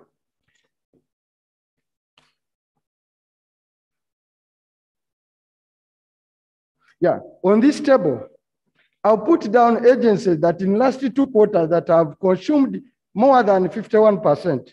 One of it is the office of the president. It has consumed 100% in two quarters. So uh, for all the money that was given to it, it has consumed it and exceeded. External security organization has also consumed 67%. State House, 62%. Uganda prisons has is 57%, 56%. Uganda Police Force, 55%. Inspectorate of Government, 53%. Ministry of Internal Affairs, 51%. Finance Intelligence Authority, 49. These are the big agencies in terms of receiving. Now, the point to note that none of these agencies is in the productive sector. Yet uh, the one that have consumed a lot of money. Now we have votes, what I call trillion votes. Votes on our budget that attract trillions of shillings of money. We want to see on the releases, how are they performing? The first one is treasury operations, which out of our budget takes 15 trillion. It has done well, 9 trillion, and it is at 65%. The next one is Ministry of Defense, which has a total of 3 trillion point eight. It has done well. It has consumed 2.0, which is 63%. The third trillion budget is the Ministry of Health, which is supposed to have 1.2 trillion. It has so far received in two quarters 299 trillion, equivalent to 25%. Minister of Health. Minister of the National Road Authority, UNRA, that does our road, has a budget of 3.3 trillion. It has consumed 622 billion, which is 19%. So when you track the trillion agencies where you have trillions of money, other than other than treasury operations, which I've told you about for paying debts, and the Ministry of Defense, the rest, even health, which was here, you are crossfiring, it has not been given money, which is 22% only of the releases. So a lot of its money remains uh, uh, or, or now we have projects, right, Honorable Speaker, that are supposed, and this one I'll read. We have delayed implementation of development projects. For the information of government, as earlier highlighted, development expenditure only constitute 18% of the half-year releases. It has been noted with concern that releases for development expenditure are usually done in quarter three and quarter four. It is at this moment that accounting officers commence procurement to comply with section 50, 15 subsection 3 of the Public Finance Management Act. By the time the procurements are concluded, the financial year is closing. This explains the, the dismal performance of development projects in the past financial years and will not and will not be only different, and it will not be different this financial year. In the last financial year to 2021, out of the 68 core projects in the National Development Plan, only nine were on schedule. This translates to a performance of 13%. Such a performance cannot transform the country. It ultimately results into low economic growth. However, such scenarios of delayed releases should not be existing anymore, given the fact that the national budget for the next financial year is approved before the closure of the preceding financial year. Delayed implementation of government commitments, uh, fees, uh, you know, this is related, you know, because of time. let me speak to it. Um, when you look at uh, Right Honorable Speaker, it has been noted that there are accumulated disbursed funds mounting to 11 trillion, approximately 45%. This is money, Right Honorable Speaker, that is not dispatched, mounting to 11 trillion. And out of this, we pay huge interest. Now, we pass a budget here strenuously, and the Minister of Finance don't release the money at the end of the year. We also have the issue of unspent balances. When money is released in the third quarter and fourth quarter, agencies don't spend that money. It comes back to the Treasury Consolidated Fund. And in our budgeting system, there is no trace of unspent balance. We will never have an opening balance, nor do we ever see a closing balance. Therefore, it is important to note that much as agencies want money to be spent in the third quarter, the intention for the money not to be spent comes back to the center and it disappears in thin air. Conclusion, right honor, recommendation, right honorable speaker. The minister responsible for finance should immediately report to parliament the extent of unspent balances in the closed financial year. We want you to tell us how much money did, did you receive as unspent balance in the last financial year? The speaker is urged when exercising powers under section 24 of the Public Finance Management Act to appoint a member from the opposition. Right Honorable Speaker here, I've jumped a section on classified because classified consumes a lot. Last year it was 15.5 trillion. This year has received a member. Right Honorable Speaker, in your powers, you, you, you appoint one person to the classified expenditure. Right Honorable Speaker, the law says it's the budget chair and the chair of the defense committee and one other member appointed by the speaker. What we are urging you, Right Honorable Speaker, that this other one member should be a member of the opposition. Because when you have a member of the opposition, put him under oath, not to reveal secrets, state secrets forever, so that we have another eye outside the government that looks at classified expenditure. Otherwise, it is becoming hemorrhage. Maybe, maybe before you finish with your statement, the powers are vested on the speaker to appoint a member in that classified committee. As you've recommended, just for your information, that was the first thing we did when we came to this parliament. Just as the name says classified, we appointed the members of opposition and they are classified. And that prayer should not even be there because it was done. Right Honorable Speaker, I thank you, but the committee is not classified. It's No, the we, we are appointed, it is, it is, uh, the chairperson is automatically a member. And we appointed other members to be in that committee. So that was done. Honorable Speaker, I thank you, and I don't intend to have a cross argument with the chair. It's not my argument in any way. I'll speak to my leader of the opposition on that issue. I think it should be in the know. The third, the third recommendation, Honorable Speaker, the minister responsible for finance should make regulations for classified expenditure as required under subsection um, 8.1, subsection 2G of the Public Finance Management Act. Why we are clamoring now to streamline classified expenditure is to close that gap. When you have these regulations, all those things will be very clear. We are not imputing in any way, should not be understood, that classified expenditure is stolen. I mean, as, as a country, we, we, we know the needs of security, but uh, it can be stretched to another level. The other recommendation, Right Honorable Speaker, Section 78 of the Public Finance Management Act, the minister responsible for finance should make a report to Parliament with an explanation on why government adjusted approved budgets beyond the permitted threshold and undertook subsidiary appropriation.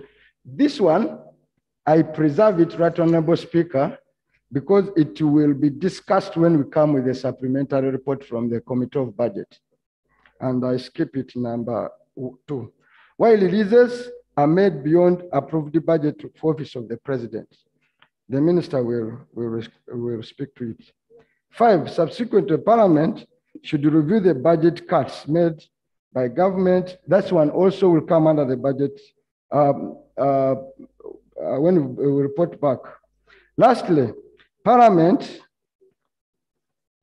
in the financial 2022 should um, place a, a moratorium on votes with poor absorption of, of the budget. Right, Honorable Speaker, we have budgets that chronically don't absorb their budget. Yet we continue to heap them with a lot of money. So we want the Minister of Finance to come here and tell us the budget that have no absorption capacity so that in the another year, we don't waste money that should have gone somewhere and give it to those budgets. Right, Honorable Speaker, with those remarks attached is a copy of each vote. If members want to, to follow, you must you can follow and, and find out what is going on. Because you told me to summarize the statement, I beg to move. Thank you, Shadow Minister. And thank you for a good report. Finance? Thank you, Right Honorable Speaker. I would like to thank Honorable Kivumbi for this analysis. However, Right Honorable Speaker, as, I, as he was presenting, I was looking forward to the gaps which Honorable Kivumbi was leading to, and I find that his report is largely information to the House, and actually good information. What I can say is that we release uh, funds four times a year quarter one, quarter two, quarter three, and quarter four. And his observation is consistent. We are now at 49% half year, and we are leading. We still have two quarters. I believe by end of financial year, we will be at 100 or close to 100% on concerns about classified expenditure. Madam Speaker. Honorable Minister, since the report that uh, the shadow has given us is in writing, wouldn't it be prudent for you to go and make a rebuttal? Ideally, we are supposed to debate this report under Rule 53.2. But because you've realized there are gaps, there are no gaps, but also, even if there are no gaps, wouldn't it be prudent for you to go and bring a rebuttal in writing so that we debate all of it at once? Other than debating this one, then we debate what will come from you. Ma thank you, Right Honorable Speaker. Right Honorable Speaker, I beg your indulgence so that I state that I don't see why I should go back to prepare written mm. information about this. Because all this information, Honorable Kivumbi has picked it from our records, and it is a true record. I'm just wondering what am I going to write and bring to the House? I just take this as information to the House and I thank him for Fine. making this analysis. So it's open to a debate. Yes, Martin? Nathan? Uh, thank you, Right Honorable Speaker. Uh, Thank you, Honorable Kivumbi, for a good report. And I also want to thank the minister for accepting that this is true information. Right Honorable Speaker, you find that uh, development expenditure, uh, according to releases, has a very small percentage. Right Honorable Speaker, under development expenditure, we have agencies like UNRA, agencies like Minister of Works, agencies like uh, Ministry of Health. They subcontract, they, they sub, they contracted contractors to do some work. Most of these contractors are crying, right Honorable Speaker. Most of them have not been paid their money. Right Honorable Speaker, in a situation where everyone has been battling with, with the pandemic, most of these contractors are in loans. Their money is being held up by government of Uganda. We are talking about economic stimuli from government aiding people to, vamp, uh, to, to revamp the economy. But in a situation where government is holding funds of contractors, right, Honorable Speaker, I don't find it fair. Comparing with other agencies which have already consumed 100% and we are in the second quarter, right, Honorable Speaker, I don't know how what the minister will explain to us why some other agencies have already eaten 100% and yet other agencies which are also very important to our country has only received peanuts. I thank you, Right Honours. Thank you, Martin. Honorable Minister, I hope you're taking note. Ma- Nathan? Uh, Thank you very much, Madam Speaker. Madam Speaker, first and foremost, under section 15 of the PFM, it is clear that Parliament is the one which approves the, the budget. And this budget is called the what you commit. And it will consist of uh, the procurement plans, the work plans, and the recruitment plans. And of course, the cash flow in the ministry released according to that. Also, the cash flow is in respect of the money which you have collected. I would have been so happy. My brother Kivumbi, our minister of shadow minister, told us how much has been collected vis-a-vis how much has been spent. But having said that, under section 16, every three months, every accounting officer shall submit the secretary treasury the forecast of the of, of commitments and the cash position of the vote. And the secretary to treasury will use this for purposes of releases. Madam Speaker, one of the things which I was waiting for my brother Kivumbi to talk about, that treasury operations are taking a huge amount of money to pay debts. And if we don't pay debts, we shall have a problem. Our thinking was that he would come up and say that we should reduce our appetite for borrowing. Because if we don't reduce appetite for borrowing, eventually all the collections we're going to collect will go for debt and we'll be left with nothing. And that's the reason why government is spending, I think, treasury, if we don't pay the 8.8 billion, we'll be declared bankrupt. And if we are declared bankrupt, then we shall never borrow anywhere. And the recurrent expenditure is basically for salaries, administration, and whatever. If you don't pay members of parliament your salary, I'm sure, Madam Speaker, you will not enter. And uh, if you don't enter, you will not chair this house. So recurrent will be always priority number one because it deals with day-to-day operations, which includes salary and whatever. While development, you can hold on to build a road, but you cannot hold on to pay salary of the workers. I was hoping that my colleague will say we rationalize salary. For example, An engineer in the Ministry of Works is paid about a million. But an engineer in the UNRA, I think, picks about 30 million.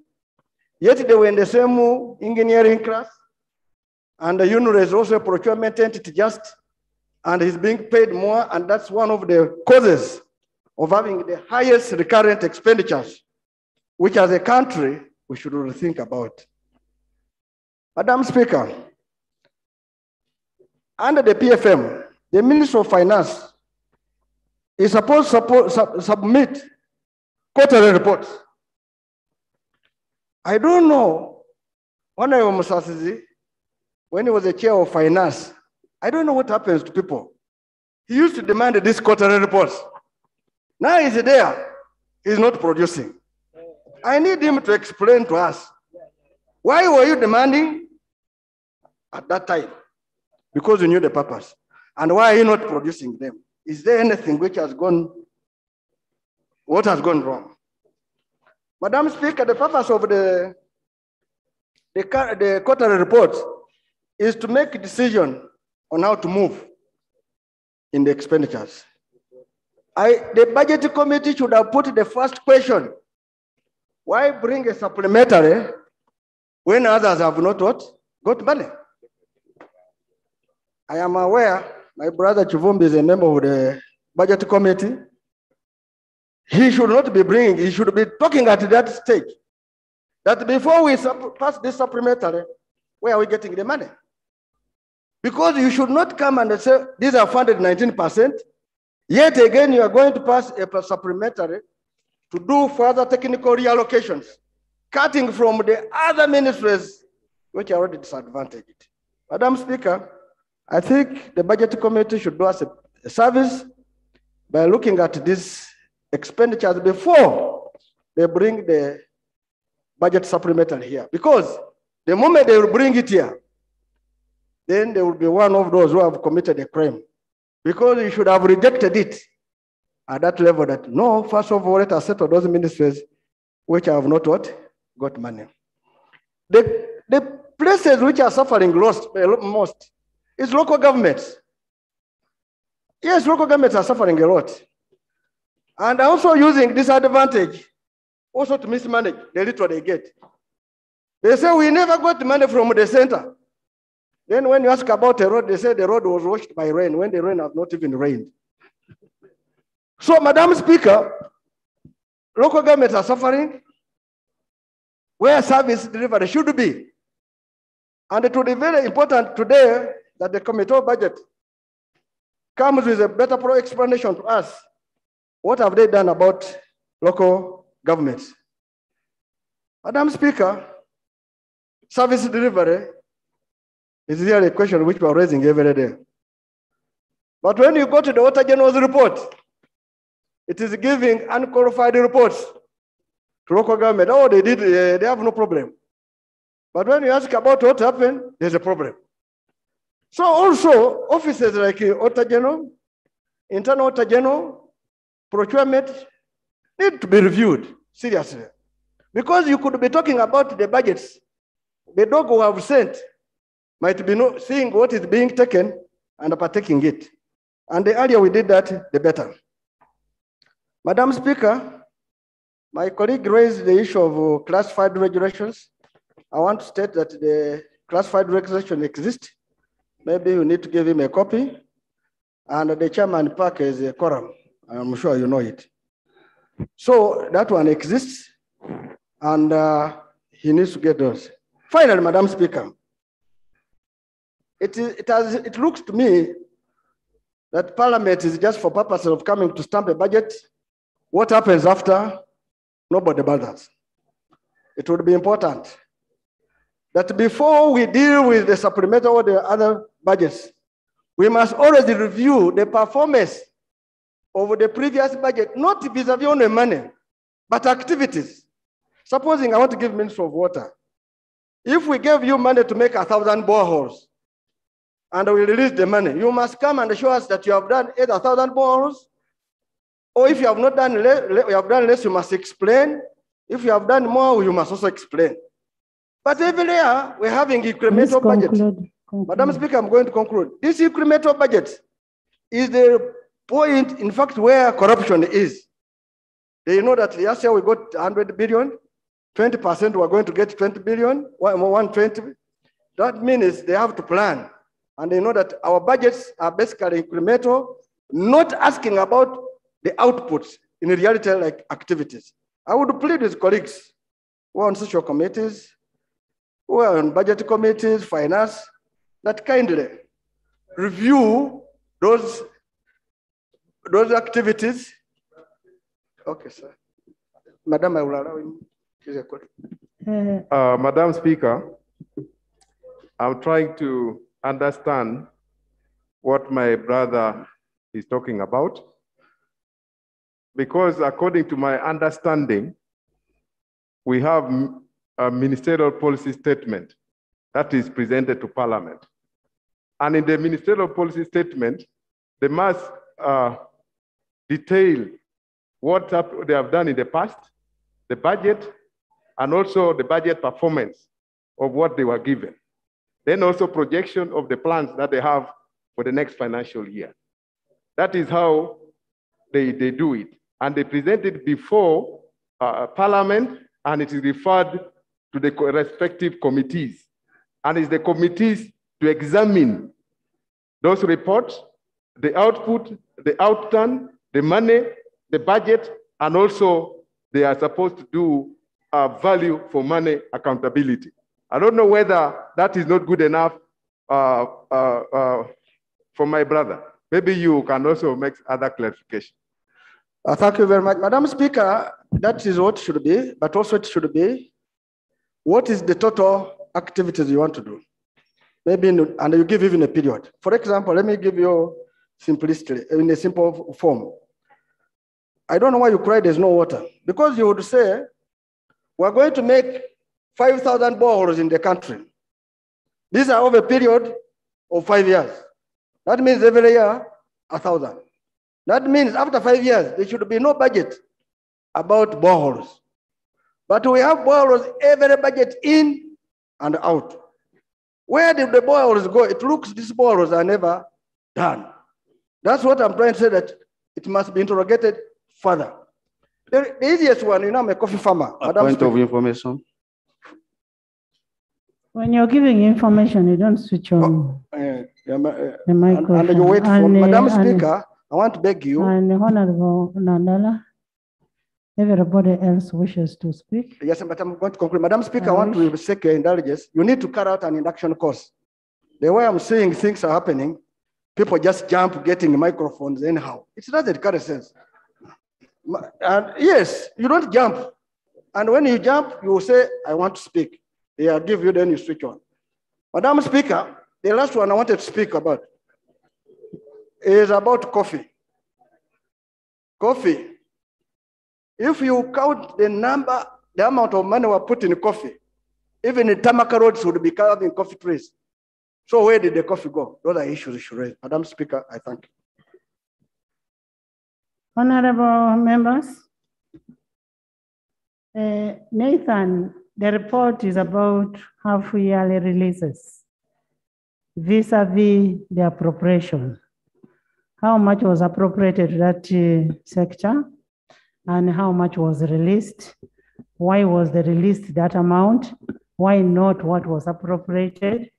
That is what the report is talking about. And of course, what you've said is very important that we need to look at our budget before we increase on the budgeting, in the, say in appropriation. We need to look at the budget, why you think there should be an increment vis-a-vis the action. What has been done in the previous year? And why are you increasing the budget? What is that that that, that was not done that you need to, to, to do? I think that's what is really raising. And uh, of course, you're talking about the expenditure vis-a-vis the, the income, what was collected, but the, the heading is very clear, the release. You know, he, he's a lawyer, he's not an accountant like you. Madam Speaker, you're right, they release, but you release what you have collected. You don't release. So, so that, that, that's good information. I'm saying that's good information for the House. And maybe as what has been said, budget, you need to interest yourself on the local governments. Local governments are suffering. Yes. We need to have an eye on it. Before we talk about anything, let's look at the local governments. And of course, the recurrent expenditure, as he has said, the moment you come to this house and it has not rained the way they call raining, then you will tell Honorable Musasizi not even to enter in the in the what? In the gate, not even come near Parliament. And um, you're under Rule 53, the statement should not take so long for a debate. You've gotten all the information. Can we have a response from, from the minister? Clarification. Right, Honorable Speaker. I think Honorable Nandala Mafabi, with the due respect, is an economist. He spoke for the sea and the forest at the same time. Some of his comments deserve some response. One, recurrent is supposed to drive development. It's like you having a vehicle, you buy a vehicle and you don't fuel it. The day-to-day operations of, Yes. So it's like paying members of parliament and there are no sessions to sit. You are paying them for what? So without corresponding performances on recurrent and development, you will never see service delivery. That's why we are saying if you are going to release money for recurrent, release the equivalent money that is required for the recurrent expenditure to drive development. That's why we put for year percentage and said as a percentage form, as a percentage expenditure. Recurrent, they've spent 82%. Development, 18%. Therefore, such expenditure is screwed, cannot spur growth. Actually, you are just, I'm not saying it's wasteful. It's, it's a fun expenditure that it's not in any book of economics and expected a land economics like Honorable Nandala to understand those things but properly. actually, actually, when you talk about the recurrent, that's where we have been having a complaint here. The, the issue of uh, oversight role, recurrent should be hundred percent. Because we cannot, you cannot do a number of things without having all the money there. You cannot come and sit in the house when you're not paid. So, right honorable speaker, that's the point I would like for this house to understand. That honorable Nandala Mafabi's submission looks to imagine that you see, pay recurrent and that is government should be there to pay salaries, to pay this. No, government in essence is supposed to drive development. And I shudder what government you will be in if you go for that kind of Uh, expenditure. Members? Madam Speaker, the order I'm raising.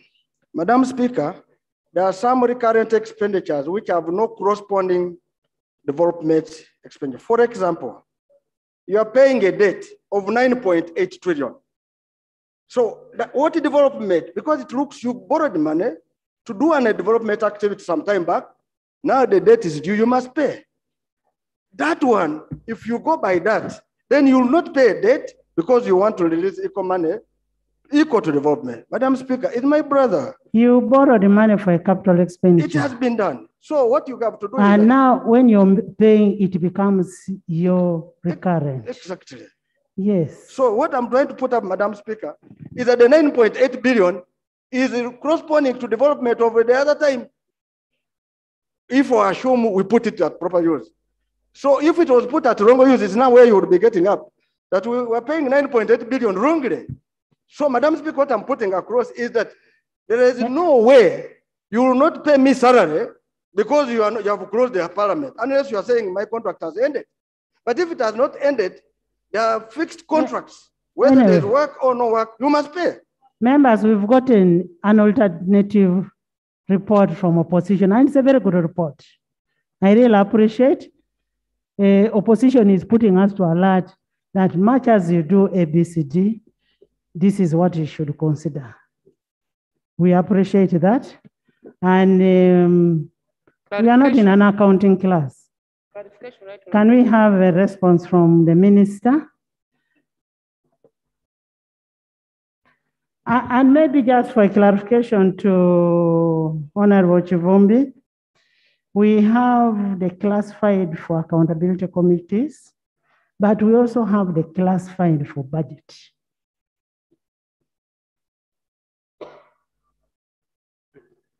I thought I was on the floor. No. At the budgeting stage. Yeah, right, Honorable Speaker. I know what I'm talking about. Actually, the chair PAC by, by law is supposed to be part of the accountability committee for classified. That much I know. But classified as an expen, as an expenditure part of the arm.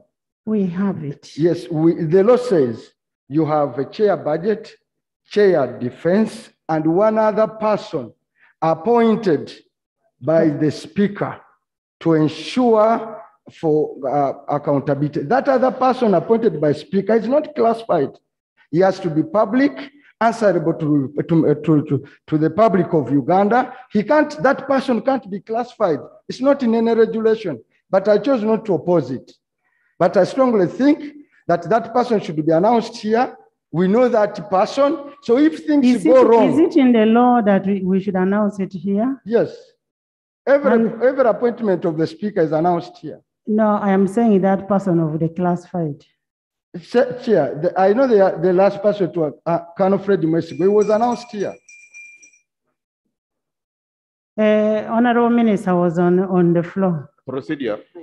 Members, when we announce the members of the committee, you know the problem, Honorable Kivumbi, we even gave a copy to your office, opposition office. We came and announced in the house that we have classified. And I remember I chaired, it was under the tent. Maybe because the tent was too big that you could not hear what was being said. But we will give you a copy of the your opposition people that were given. Uh, Minister, but I thought you had delegated Madam your Speaker, member to No, speak. no, I was citing the dictates of uh, the Public Finance and the Management. I am Act, saying the minister on- is still on the floor. It was, it was a But the minister, before he comes, he Ah, ah. was claiming there were no gaps. No. But I would want him to commit No. himself. Lob, please. First, sit. let him first respond. Thank you, Right Honorable Speaker. Right Honorable Speaker, I would like to appreciate Honorable Mafabi, my senior in the profession and my senior in the House, for the analysis he has made. Right Honorable Speaker, why I appreciate him is that in 2015, when we enacted the Public Finance Management Act, we gave it comprehensive provisions in as far as management of public finances is concerned. And one point, good point he has raised is on the cash flows. We release money based on the collections and we normally do cash flow projections. Not, not actually projections, realities, we call them cash limits. I want to say that whereas it is our desire release all the money we budget, when the revenue performance is not good, we release what we have. And this is what Honorable Mafabi stated. But this also, the point he touched me on was the point on reporting to Parliament. Honorable Mafabi, you know very well that the Section 18 of the Public Finance Management Act requires the minister to report twice to Parliament in a, uh, to report twice to Parliament in as far as managing public expenditure is concerned. I want to inform this House that on a quarterly basis, we release funds after scrutinizing the cash flow plans, the procurement plans, and other relevant documents, which the law requires us to look at. Madam Speaker, um, on the issue, I do acknowledge where Honorable Kivumbi is coming from. Being a, a lawyer of some sort, according to what the speaker said, she said I, I, did not say that. And it was not for you to repeat it. Then I, I withdraw if that is the case. But in this case, Kivumbi, no, Honorable Kivumbi not being an accountant, he wants to compare.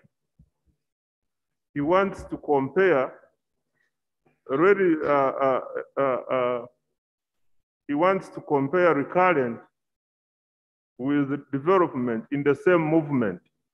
That when you, you, you, re- you make a release on recurrent, it must correspond with some release on development, which is not always the case. Sometimes yes, and sometimes no. And I also want to inform him and the House that there are some activities of development in nature which exist under recurrent expenditure, Madam Speaker. Madam Speaker, going forward, I want to say that Uganda has the best budgeting system in the whole of Africa. This one, we pick it from the forums we go to. It is very transparent. Whatever we do in the budget is known to all the stakeholders, including Parliament. And therefore, Madam Speaker, as I conclude, we shall always release funds as Ministry of Finance timely, and that is when the quarter end begins. From first to tenth, we shall have released the money, and we shall release the funds, which we shall have collected from the taxes and the other sources we, we use to finance the budget. And we commit that we shall always report our performance. I, I get clarification from Honorable Asha. Thank you, Honorable Minister, for giving way. Uh, Honorable Minister, I would love to know from you if, if Ministry for Presidency has spent 102 by end of half year without even coming back to Parliament. Number one, It's one hundred and and two two percent. percent. They have spent one hundred and two percent. Number one, where have they gotten the two percent before coming back? Number two, when will ever the Ministry for Presidency learn to budget? Because there's no single year they have gone away without coming for supplementaries. Uh, Thank you so much, my friend Honorable Aisha, for the, for raising the point of clarification. How the one hundred and two percent arises is that this vote received a supplementary. And also this report is not, is looking at, is comparing the release to date vis-à-vis what you have spent. So the votes, therefore, there are a number of votes which received COVID supplementary. You are likely to see them performing above 100% so far. But as we get close to the financial year, to the end of financial year, you might find that they will get lesser releases in the third or fourth quarter, and when we get to balance, it will come to more, sorry? Madam Speaker, I want to thank the minister for giving me. Why did they spend more than one or two percent before coming here? In the same law, whether we need to show it now, we have allowed the ministry, the government to spend three percent before coming to parliament. And uh, that's where again we have an issue which we must deal with at the parliament. This three percent, we have not put guidelines on where to spend. So they can spend it in anywhere and come that this will, this just, you don't, you just get retrospective authority, but Uh, you, you see, you gave the three percent as this parliament. You did not give the guidelines. And uh, the two percent could be from the three percent. So you gave them powers, unlimited powers. Uh, Thank you, Honorable Mafabi, for the information. Actually, you enhanced Honorable Aisha's question that what, what was the source of the over expenditure? Madam Speaker, the law provides that uh, government has a window to spend three percent of the previous budget and report to Parliament within four months. And this is uh, section 25 of the Public Finance Management Act 2015. And excess, any excess beyond the 3%, we must first seek parliamentary approval. Madam Speaker, there are rules. The same rules that govern supplementary spending applies to even the 3% before we come here. And this, uh, it must be an item of unforeseen and it must be an item of unavoidable if it is to qualify to be financed under this bill. Madam Chair, like I was concluding earlier, I want to say that we are committed to Madam Chair, thank you so much. Uh, Madam Speaker, uh, budgeting is a costed work plan. And the work plan must be done in accordance with the timelines. You cannot plan to do everything in one day. In the course of the year, you have planned activities on different months consequent, uh, accordingly. And you plan and cost uh, those activities based uh, uh, in those months. Therefore, I find it difficult to say that in half a year, you have spent 17 billion on recurrent, when in actual sense, you should have spent uh, uh, 14.5 because the total cost uh, recurrent for the whole year was 29 trillion, but you have spent 82% instead of having spent half. That means that you are spending on what you never planned to be done in this same time.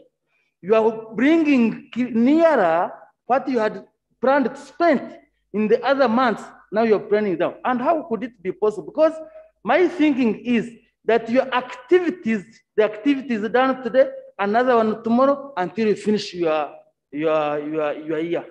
Thank you. Uh, Madam Speaker, There's, there's another person behind you. Another clarification? yes. I'm likely to lose this point. Pardon?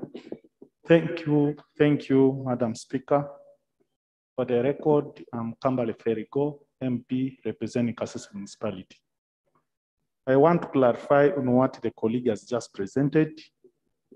According to the report, when he talks about 82% having been allocated to recurrent expenditure, it doesn't mean it's the 82% of the overall budget.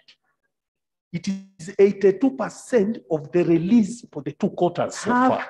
half, half year. What is 21 that has been released for half year? Out of which 17 trillion, which constitutes 82%.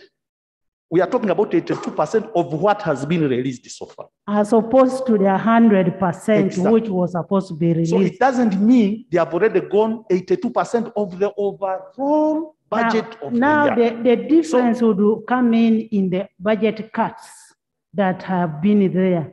That instead of releasing hundred percent, you've released eighty or eighty-two percent. I wanted to make that, clar- I wanted to, the- to make that clarification to the colleague. You know, you know now this aspect can only be talked by pe- pe- people who know figures. So, Mi- Honorable Minister, can you, Plus clarification, Honorable. Speaker. yes, One- Lillian? Thank you very much, uh, Right Honorable Speaker. Before the minister concludes, I would like to seek clarity over the functionality of these newly created function uh, administrative units. Right Honorable Speaker, as you are aware, it has been a norm that we create new sub-counties and town councils. But these administrative units have been crippling. They are not functioning. The Honorable Minister here made mention about the immediate release and timely release of funds. I would like to know from the right from the from the Honorable Minister when we are going to have these small administrative units begin uh, functioning and they will be funded. I thank you.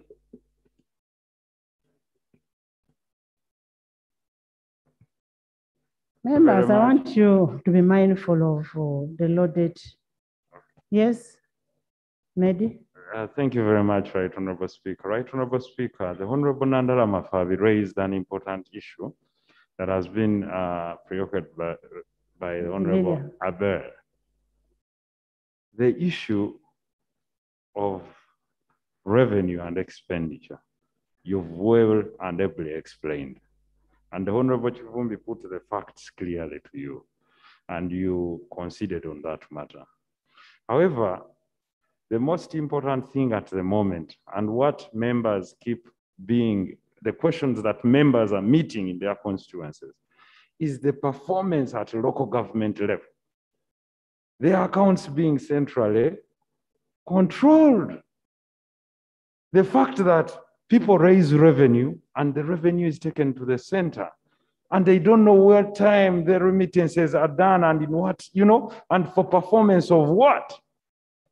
Councillors and district councils formulate their budgets, present them, and before you know, they are useless. So we are not respecting the principle of decentralization. That is where you see that our budget performance is still poor. Yes, on paper, we have amazing paperwork. Like you said, in Africa, our budgetary principles are the best. But now we are killing the same baby based on decentralization on implementation. That is why the Honorable Nandala Mafabi told you that you reach local governments and districts, and people tell you they worked on roads and culverts, and rightly so, they have worked on nothing. But they are there being paid wages and salaries for zero performance. So you incur costs with zero output. That is what this August House wants to know, that as we are giving you money, what is the value for the money you keep asking for? Value for money. Uh, And, and uh, Honorable Minister, one thing you need to know that the NTR that is collected from these local governments has a deadline as when it should be submitted to, to the consolidated fund account. But it does not have a deadline when you should return it back to the I mean, to local government. These local governments are suffering, as members are saying. They cannot even collect garbage. You find cities smelling, they cannot collect garbage because they are not able to get the releases. The release that you send from, from finance reaches the, the local government so late that you can't even do anything. So you need to address those matters, even when you're doing the budgeting. This report is just not, the report is not just for fun. It, it is raising issues.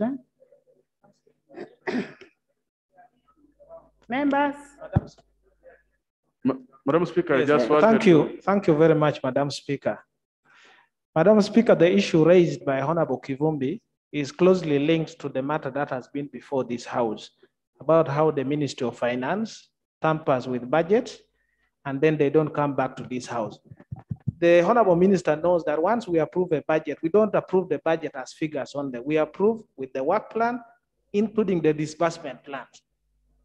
So if you tamper with the disbursement and you don't release money as it was scheduled, it is only proper that you come back to this house and work with the agencies. The agencies revises their work plan, but also revises the disbursement plan so that you can then release the money according to the new schedule. And that's the point I wanted the ministers to speak to, whether he's going to come back to this house and lay the new work plans for the various ministries, departments, and agencies with their disbursement plans. Thank you. Right, Honorable Speaker, uh, I just wanted to make a comment on the, uh, the argument that uh, local governments are suffering and there's no money. Uh, the county moved and adopted decentralization, and it set categories of activities that are supposed to be performed by local governments and those which are centralized. But the challenge now is roads that are supposed to be under the districts and even under the sub-counties are being worked upon by the ministries. You find Minister of Agriculture, you find it in local governments constructing roads, you find Minister of Works and Transport constructing roads, even primary classrooms that are supposed to be constructed by local governments are being managed by central government. The idea was that local governments are supposed to do these activities themselves under the supervision of the ministries. But this time you find it is the ministries. Sometimes they say these are projects being financed by World Bank, but still they are decentralized projects. But now, in some cases, they will say, no, we have given this to the local governments. They are supposed to get contractors. But what actually happens on ground is that they ring-fence. They say local governments can contract, but do the contract, I mean, pick the contractors among the following. And just let me build on my point. I will give you information. So, right up speaker, they will say the local governments will pick out of these six. Normally, they reinforce the contractors. But most of these contractors are contractors related to people. When they are performing the activities on the ground, they don't pay attention. Chair, to- Chair, local government, Yes. why don't you give this house a report to that effect? Because that is your docket. I was just saying, I was just submitting on No, that, but it is- we're coming up with a report. I, I think it's not, uh, you need to give us a comprehensive report. Right, Honorable Speaker, we're going to give that. I was just giving information. Oh, okay. Madam Minister, can we have, Madam Speaker. Honorable, Madam Speaker. is it on local government? Yes, it is on local government. Madam Speaker, you know this issue of, uh, of sending collection from districts or from local governments, sending first centrally, is something which I think has worked for about two or three years. It's a new thing. That is centralizing the collection, the local collection, to the center and taking from the center back to the local governments for them to be able to do their work is a big challenge. It's a very, very big challenge. I think it is important that you review that so that this collection should not come to the center again. You make it very difficult for local governments to operate. Let the, let the committee of local government and uh, central, I mean, uh, and uh, the Mapendusis committee is what? Park local government and then the committee of local government come up with a comprehensive report for, for, for government to be able to, to see what to do. If it means reversing that decision, it should be based on a documentary evidence. Uh, Minister, can you give us your final? Local government, you're going to handle the thing, not so. Um, thank you, Right Thank Honorable. I just, I just wanted to offer some clarification. Right Honorable, about a month or two, there was a motion moved by the Shadow Minister for Local Government urging government to reverse the decision to have locally collected revenue sent to the consolidated fund. And this parliament passes, uh, you know, a resolution supporting that motion. It would be fair for the honorable minister to tell us how far they have gone. It's important, uh, right honorable uh, speaker, that the decision of this parliament is respected. So it would be good for the honorable minister to tell us how far they have gone with that. Secondly, right honorable uh, uh, speaker, every financial year, at the end of the financial year, of course, we know the financial year ends on 30th of June.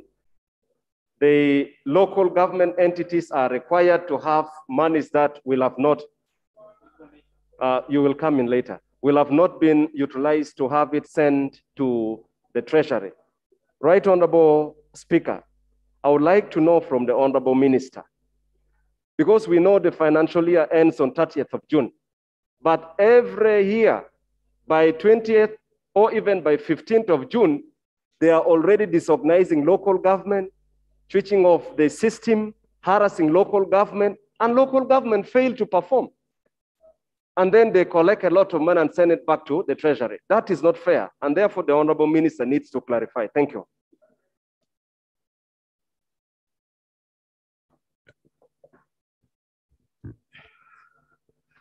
Members, we have a team from Napak up there. We have the, I want to recognize the members in the public gallery. Uh, we have Mr. Were Asha from uh, the Workers Union. We have Mr. Kecho John, Mr. Kelo Musa, Mr. Mauk Moses, Mr. Abima Stephen, Mr. Mbabazi Joseph, Mr. Baleka Moses. You're all most welcome. Honorable Minister, can we conclude with this debate? Uh, thank you, Madam Speaker.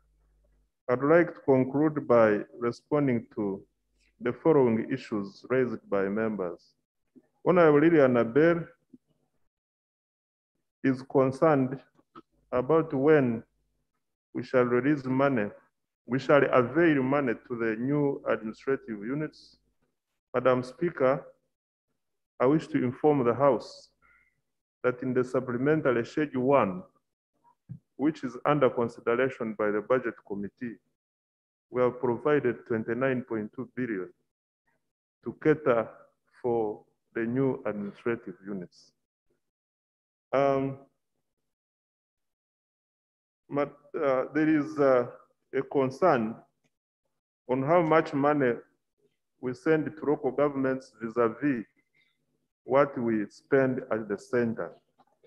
Before I respond to this, I'd like to inform the House, Right Honorable Speaker, that under local governments, all their budget is being released 100%.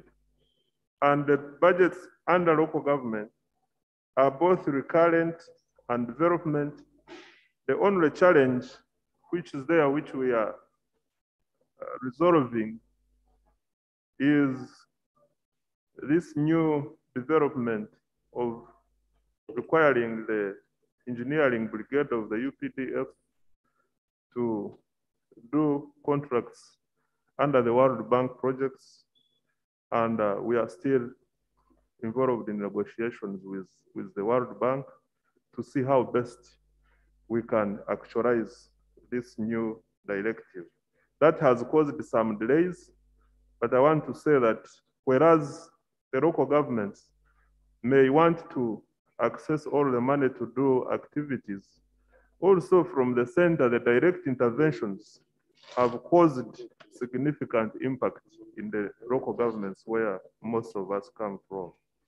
While releases reach late, Madam Speaker, as I stated earlier, we release money by 10th of the month.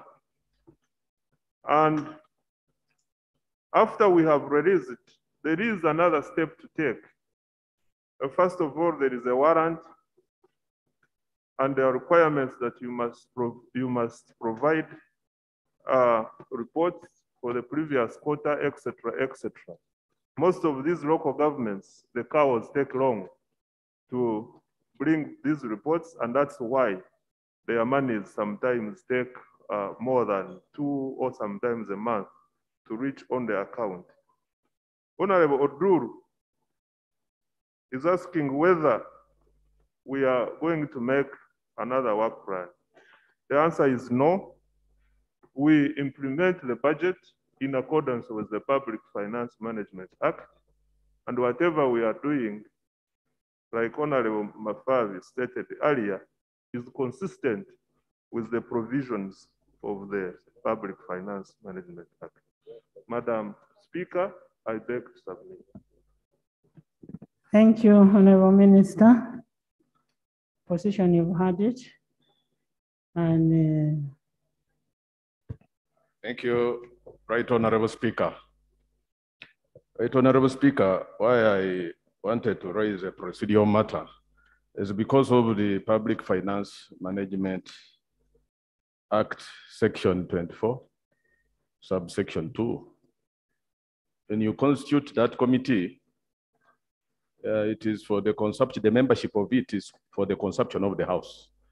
What ought to be convened or done in a closed session are those meetings that scrutinize the classified expenditure, but not the membership. Secondly, I expected the honorable minister to give credit where it is due. This Uh, statement, this uh, statement, Just, just a minute. You read what is on twenty-four to a committee of parliament comprising of a chairperson of the committee responsible for the budget. The chairperson of the committee responsible for defense and internal affairs. And another member appointed by the speaker shall scrutinize the classified expenditure budget in a closed session. yeah, the, the, the I thought, I thought there was a continuation that uh, the names will be brought to the house. Anyway, you continue. But what I can tell you, Most committee is obliged, available. uh, Madam Speaker. Madam Speaker, the minister was merely dismissing this statement as mere piece of information. Honorable Minister, you have not been fair to yourself. Because if the development expenditure constitutes 18% of the releases of half the year of the releases, doesn't it uh, worry you? Doesn't it raise grave concerns of how, in fact, this should be a wake-up call to you as a ministry to fast track, to lay strategies of how to fast track the absorption of these funds, because most of these funds that are meant for development are budget are mobilized through loans. And most of these loans, we even as House of Parliament, Madam Speaker, we don't know the performance of most of these loans. What we end up with is lack of absorption. There is very poor absorption of funds. Most of these funds that are meant for development But, expenditure. but, but Honorable Nambeshe, how do you absorb what you don't have? Madam Speaker, I suppose that's why these funds Honorable have been Nandala allocated. saying- uh, These funds have been Honorable allocated. Nandala was saying, look at what you have collected. How much have you collected? You've been having a problem, COVID, COVID, and there is, the, the economy is not doing well. It's not that the money is not absorbed, the money is not there. Why don't you learn to speak the truth for your country? In fact, Right Honorable Speaker, you have even uh, aided me to remember how, and I would like the minister to explain, how, uh, unspent, how unspent balances are incorporated in the new budget. That is a gap.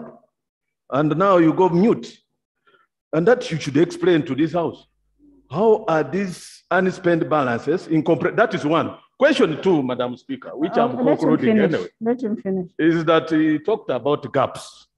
And he knows very well that the law mandates the ministry to make regulations. But up to now, the minister has failed completely to commit himself to make regulations for classified expenditure. And I would like him to make that commitment in this house. Why has he failed up to now? To Honorable- make regulations for classified expenditure, Madam Uh, Speaker. Honorable Clarification, Minister. clarification. Honorable Minister, Clarification to also the honorable minister. Honorable almost. Minister, can you conclude? Madam Speaker, Madam can You, I- do you have a a regulation for classified expenditure? Mad- Madam Speaker, I want to That's why I was seeking clarification. Because sometimes in these matters, irrespective of which side you are, we must all benefit. Madam Speaker, we have the Public Finance Management Act 2015 as amended, which I got opportunity. I got an opportunity to extensively participate in its enactment together with my father and others. Subsequent to the law, we made regulations. This law has each, each, each section in this law has got a corresponding regulation that operationalizes the section. In this regard, I would like to refer him to section 24. If uh, Honorable Kivumbi can confirm, on classified expenditure, when you pick a copy of our regulations, you will find a regulation that operationalizes this. So I'm just wondering, which other, in- which further information the honorable colleague would like this? like Honorable, me can, can the minister finish? And uh, What is telling you that uh, in the regulations of twenty, yes, in other words, the complete, the regulations there is an enabling law?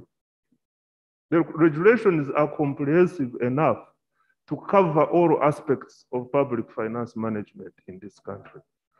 Madam Chair, Speaker, the last point, I thought I had finished, but Honorable Nambeshe brought me back. The last point I would like to clarify from his submission is that we need to differentiate between absorption and disbursement. You cannot absorb what you don't have.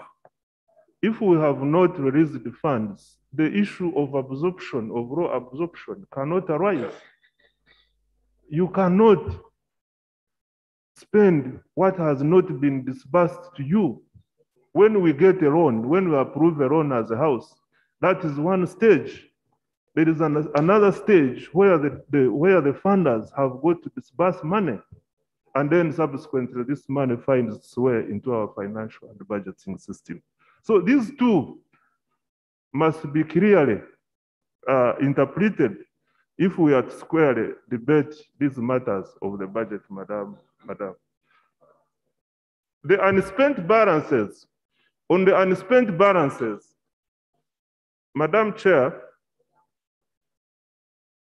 the law also provides that appropriation will expire at the end of the financial year, 30th June. And opening financial year starts on 1st June, First July. 1st July. Our budgeting system, Madam Speaker, does not provide for carry forwards. We start afresh every financial year. Nathan, Yeah, Madam Speaker, thank you so much. Madam, Madam Speaker, Speaker. I want to give, uh, I want to help the minister. Madam Speaker, under section 17, that is the expiry of appropriation. It says that every appropriation by parliament shall expire and cease to have any effect in the close of the financial year for which is made. A vote which does not expend, listen, a vote which does not expend money that was appropriately voted for the financial yeah, shall at the close of the financial year repay the money to the Back to consolidated the fund. consolidated. That means you fund. you take it. Then it says, a vote that repays money under section, under section, under subsection two shall revise, shall revise its work plan, in annual work plan, procurement plan, and recruitment plan to take into account the unexpended, the unexpended money, and the minister responsible for the vote shall submit as part of the budget for the proceeding year. The revised work plan, procurement plan to the minister. You see what it's meaning? That every vote which has repaid money in the consolidated fund should adjust its work plans to take care of that. Because if you are constructing a building and you have not finished, the money came at the financial year, you have not paid the certificate outstanding, Nothing that is understood. You've helped the minister. So I, so I should pay me now.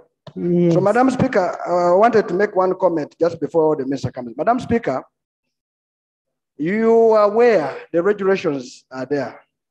I want us all to put the hands. How do you appoint Chairman PAC to be the, the chair of classified? It is under the regulation. So which regulation did we use? Because there. So, Madam Speaker, if there are problems with regulations, maybe you need them to be amended or whatever, members should raise that. But the regulation to operationalize the Public Finance Management Act 2015 are there. Mr. Minister, it is not an amendment. We removed the Public Finance and Accountability Act. We removed, then we brought the Public Finance Management Act. Madam Speaker, conclusion, this law is the best, and many countries have copied it, and to thank the member who made it. But Minister of Finance is diluting it.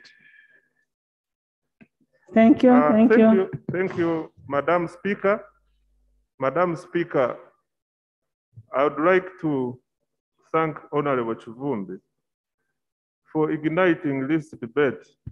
This is, the- this is uh, a debate I enjoy most as a member of parliament for Rubanda County East. And I want to thank Honorable Nandala Mafabi for helping me. I'm making a speech, please. Um, I want to thank You know, when you start giggling that it has not been answered, if you don't know accounting, you don't know. if you're a historian, you're a historian. I want to. What, what we are discussing now here, the report, the report of Honorable Kivumbi is not a report for any ordinary person. It is a report of substance that you're talking about the budgeting process. You're talking about the expenditure, the income of the country, how it is spent. Let's not just giggle around that it is not answered. It is not something just Madam Speaker, lastly, I want to thank Honorable Mafabi for really uh, enhancing my submission today. And I want to thank you for giving us an opportunity to go into the in-depth of this debate. Colleagues, let's uh, work together to improve financial management in this country by respecting the good role we made in 2015. Thank you. Hon- Honorable Kivumbi, I want to thank you so much for being a watchdog, for putting the checks and balances. You're doing a good job. By this report, you're making the, the- this side to wake up that we are watching you. You must do the right thing at the right time. Thank you so much for the report, and uh, we do appreciate. And you need always to come with an alternative uh, policy for whatever is being done on the other side to help Ugandans. Next item. Item five, presentation of a petition on the unsatisfactory and unfair service delivery by various telecommunication service providers in Uganda. Honorable Basira, just give us a summary of, of your petition.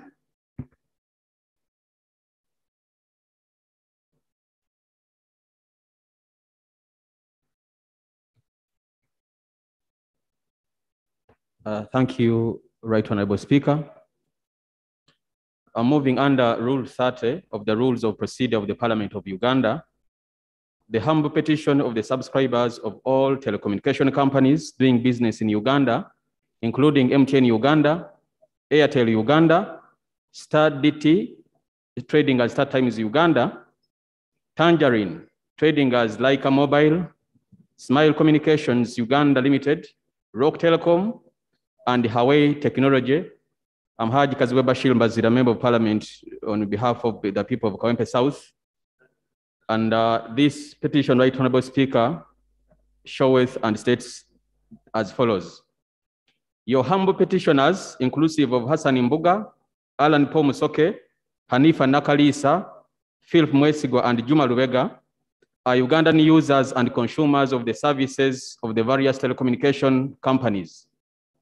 These services include and are not limited to the following making phone calls, data and online communication, mobile uh, data and online communication, mobile money transfer transactions, short message services, that is SMS, as well as watching digital terrestrial television channels.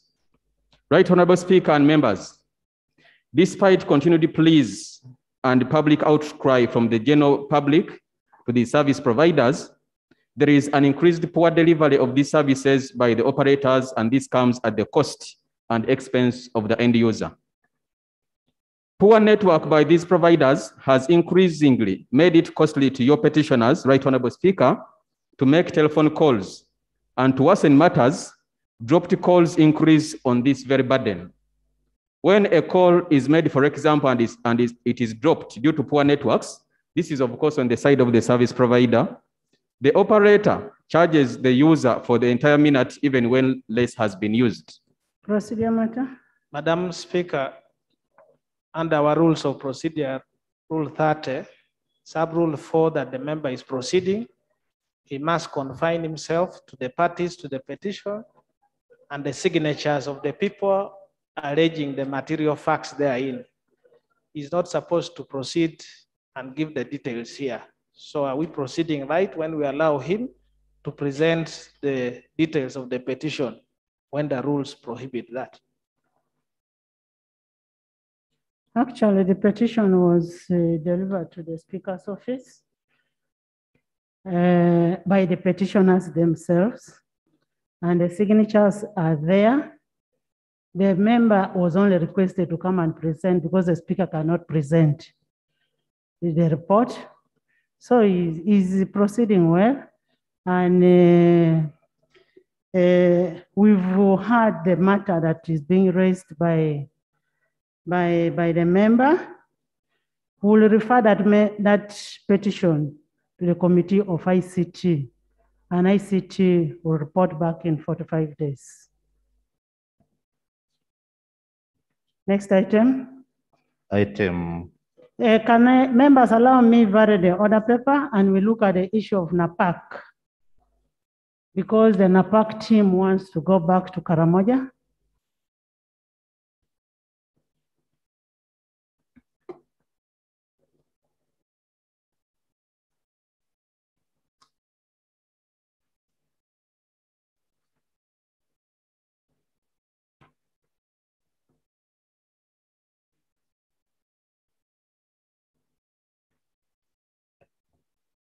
Right, Honorable Speaker. Procedure, right, Honorable, Honorable Speaker. I did not make prayers for this very petition. Is it procedure right for us to end like that, right, Honorable? I presented a petition, but I didn't make prayers for the same. You lay the petition on table. Okay. Make the prayers and lay it on table.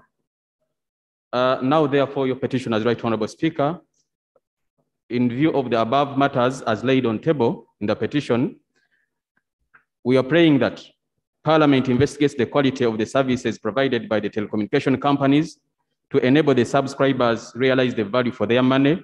Right honorable speaker, not even a single coin of a Ugandan user of these telecom services should be lost and exploited by the companies.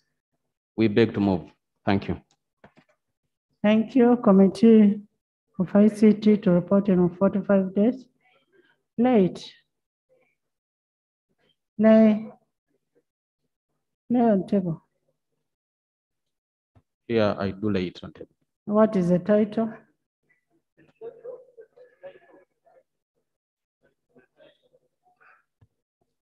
Is the petition to the Parliament of Uganda expressing the unsatisfied unsatisfaction of the service providers, especially the telecommunication companies in Uganda. Thank you. Item nine, motion for a resolution of parliament urging government to respond to the plight of Karamojong children enslaved in street begging and child labor. Right Honorable Speaker, I am Nakut Faith, the District Woman Representative for Napak. I stand here to move a motion for a resolution of Parliament urging government to respond to the plight of Karamojong children enslaved in street begging and child labor. Moved under Rule 56 of our Rules of Procedure. Whereas Article 34 of the Constitution of the Republic of Uganda in 1995 recognizes the rights of children that include protection of children from social or economic exploitation and employment likely to be hazardous or to interfere with their education or social development. And whereas the Trafficking in Persons Act 2009 expressly prohibits trafficking in children and the Children's Act of 1996 and the Employment Act of 2006 prohibits employment of children below 12, except in such light work as the minister may prescribe and employment of children below 14 years in hazardous labor conditions. Aware that Uganda ratified the Convention on the Rights of the Child, which obliges member states to ensure that in all actions concerning children, the best interest of the child shall be a primary consideration and that the state should ensure to the maximum extent possible the survival and development of the child. Also, the international law, labor, the International Labor Organization Convention number 182 and 183 on elimination of worst forms of child labor and minimum age of employment, respectively, which aim to protect children from the worst forms of child labor. Cognizant of the fact that Uganda and indeed this parliament have committed themselves to the full implementation of the Sustainable Development Goals including ending abuse, exploitation, trafficking, and all forms of violence against children. Further cognizant of the fact that government has made interventions to address the plight of street children, including development of a multi-sectoral street children strategy with a focus on Karamoja, which emphasizes the withdrawal of children and their families from the streets. Their integration, empowerment with livelihood skills, and strengthening child protection mechanisms, as well as the establishment of a coordination office for trafficking in persons under the Ministry of Internal Affairs with the National Task Force Against Trafficking in Persons. Concerned that despite the interventions by government and other actors, the number of Karamojong children on streets in urban centers has increased with approximately 686 out of 739 children from Napak district alone, reported at the destination point in Kampala in 2020. A Women Empowerment and Opportunity Desk of Moroto Diocese survey indicates that a total of 871 children left their homes in specific areas in Napak district, of which 561 were girls compared to 310 boys. Further concerned that these children are exposed to various forms of abuse and exploitation, including forced labor, slavery, street begging, street walking, commercial sexual exploitation, and physical assaults, assaults and poor living conditions for those that are lucky to find accommodation. Moreover, in a bid to clean up the city, law enforcement agencies round up children on the street and wrongly charge them, noting that these children find themselves on the streets and other exploitative conditions due to various circumstances that still persist. For example, poverty, food insecurity, lack of economic opportunities, trafficking, demand for labor, lack of family support, maltreatment, domestic violence, sexual abuse, orphanhood, and obligations on children to contribute to the family livelihood.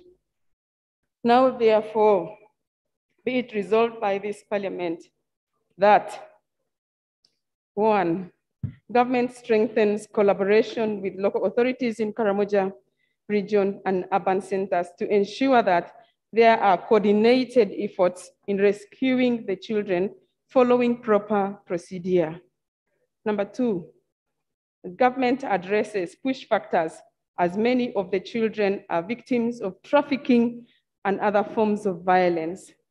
Number three, that government revises the street children strategy to ensure that it also focuses on supporting child victims of trafficking that end up on the streets or in other exploitative conditions. Number four, that government prosecutes all perpetrators involved in aiding, abetting, and procurement of children for purposes of trafficking, forced labor, and slavery. Number five, that the Ministry of Internal Affairs effectively trains law enforcement officers in implementation of the Trafficking in Persons Act 2009. Number six, that we strengthen cross-border relationships to identify victims, do joint investigations and collaborations within the East African communities, take care of the children that find themselves in Nairobi. I beg to move. Thank you, Honorable Nakut Is the motion seconded? Seconded by Honorable Anya Gilbert.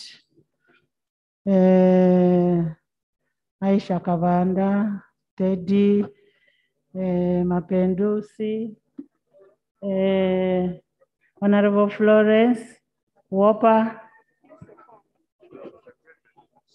Tom Bright, Perigo, Achayo, Abe, everybody. Would you love to speak to your motion? Yes, right, Honorable Speaker. Even now, gonna see now, don't worry. Colleagues, Even Mooma is there. Thank you, colleagues, for supporting the motion. The justification for a motion seeking for a resolution of parliament urging government to respond to the plight of Karamojong children who are enslaved in street begging and child labor. Right, Honorable Speaker, the issue of Karamojong's street children is not new to you and to all of us colleagues. Due to the nature of the activities on the street, particularly begging around traffic lights, at the busy intersections. These children are highly visible, clearly living in extreme poverty and highly vulnerable. The public perception of these children is informed by an understanding of the drivers of poverty in Karamoja, as well as consideration of these children's humanitarian plight. As a consequence, the attitudes towards these children ranges from great sympathy to outrightly hostility. Some people are hostile to these children.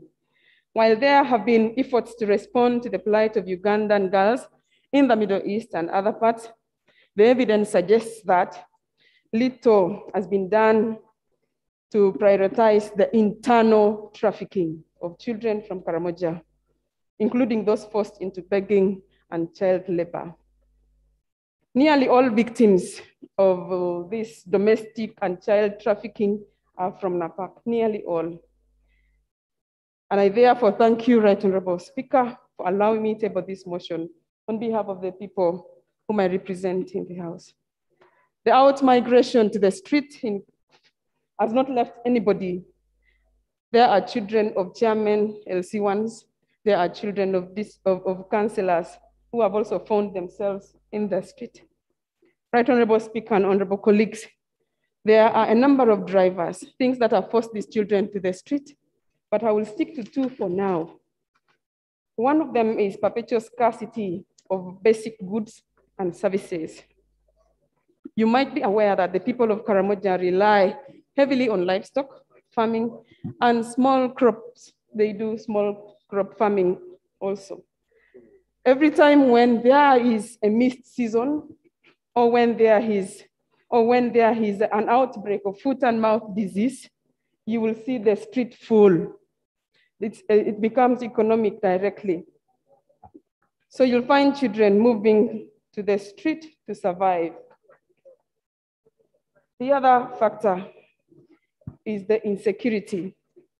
And that is the reason why people have been asking, why Napak? Why not other districts? The insecurity is the easiest way to empty Karamoja.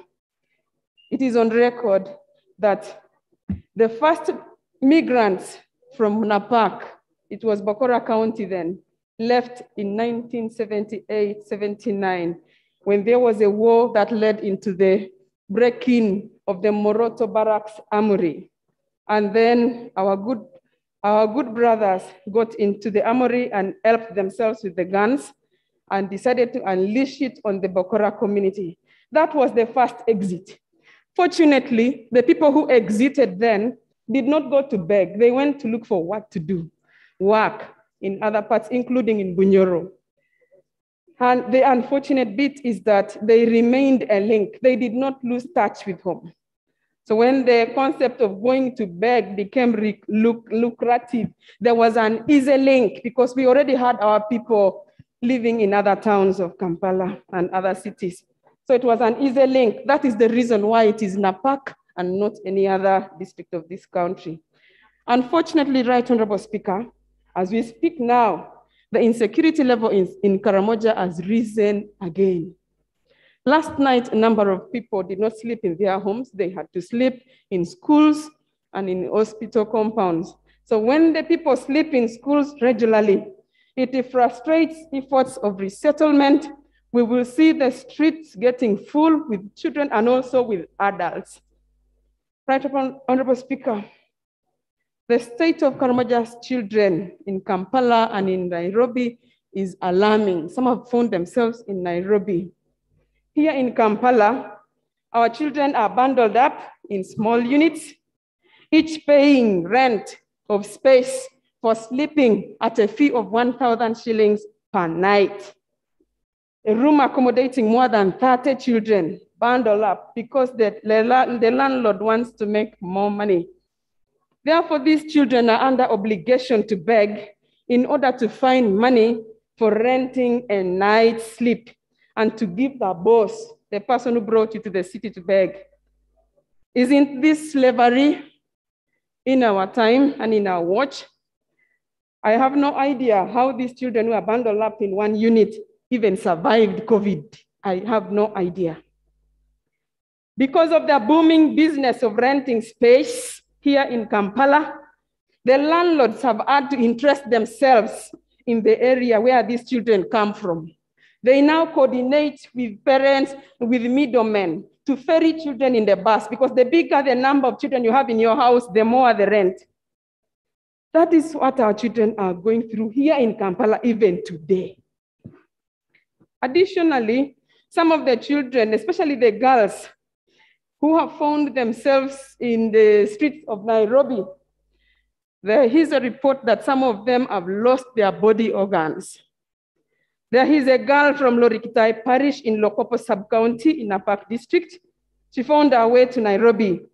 On the fateful day, she was allegedly given a drink, and the next time she woke up, she was in a hospital and she got discharged. Nobody explained to her what happened. Later, she realized there was a wound by her side. She came back to Napak and she got, she got sick and then she was taken to a hospital and they found that she had lost one of her kidneys.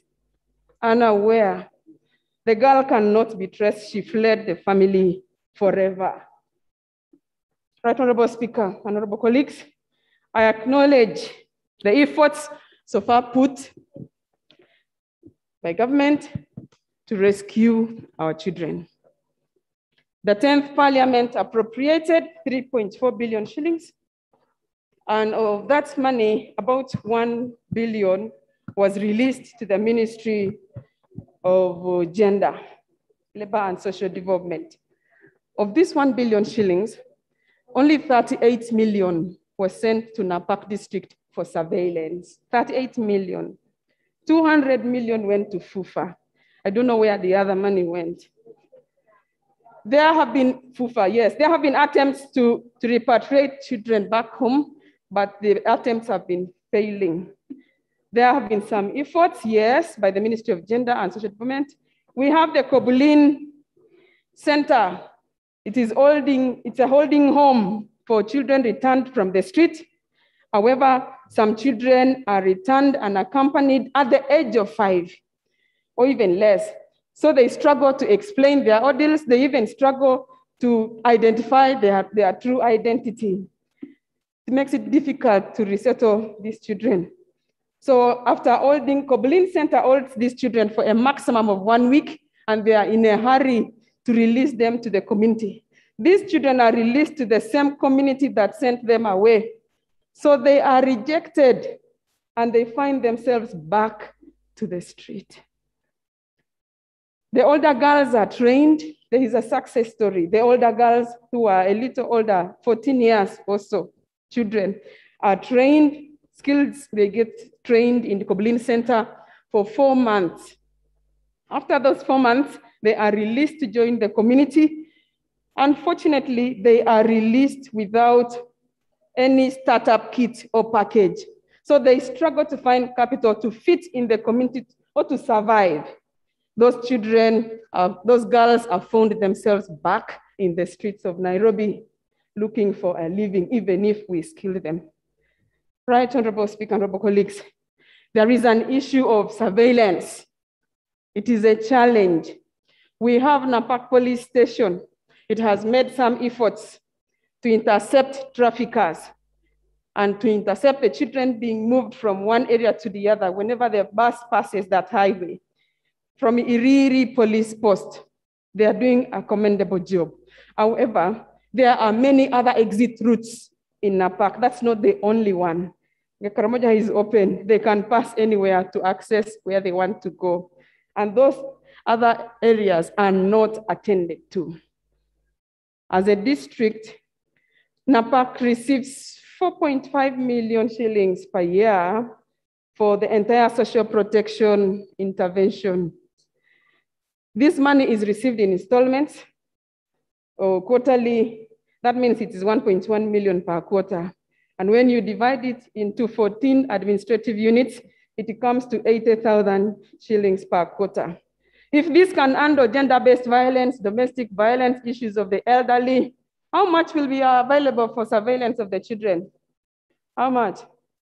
Sometimes we see traffic police here in Kampala standing one, one, one meter away from the children who are being subjected to slavery. The traffic, they, they are, these children are in the traffic area, those roundabouts. We'll see traffic police are there, but they have nothing to do. It has become a new normal. It has become nobody, nobody seems to even know what to do. Nobody seems to care. In 2019, the media was awash with news of our children being sold in the markets in, eh, in Katakwi and Ochorimongin market and Arapai markets. Children on sale. But it, was, it made news for some time and it ended in the news. When did we accept this as a new normal? This is broad day slavery our children, over our children in our watch, and it is a new normal. And we are saying that we can rescue the Ugandans who are enslaved in the, in the Arab world, who are enslaved in other countries in the West, but we cannot rescue these ones who are enslaved in Uganda, who have to, who have to rent space every night. They cannot make a decision for themselves. Right, Honorable Speaker? These children are, are, uh, are victims of this level of violence, but yet we are treating them as criminals.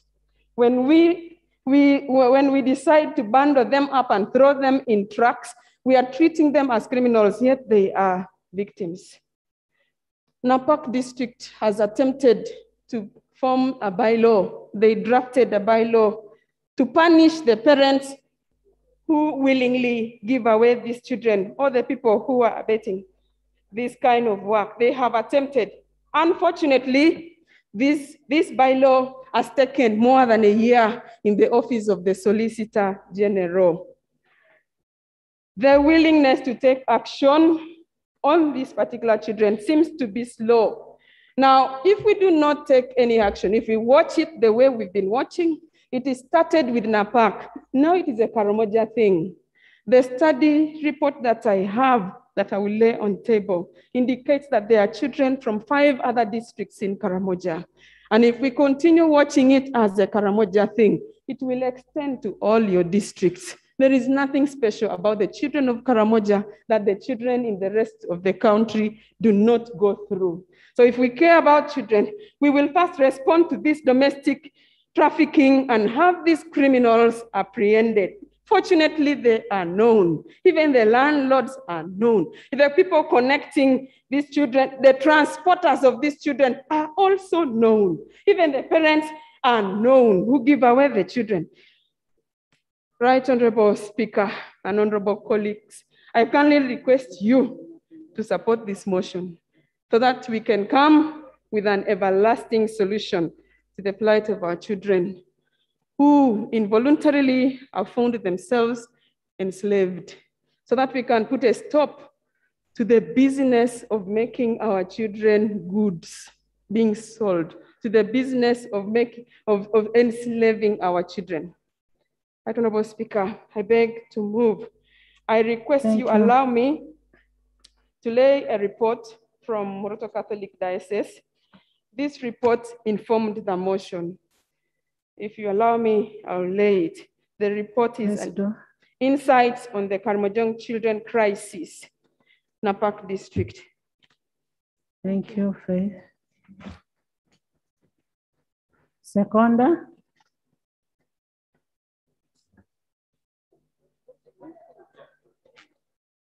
The official seconder? Eh, Macho, Honorable Macho? Then,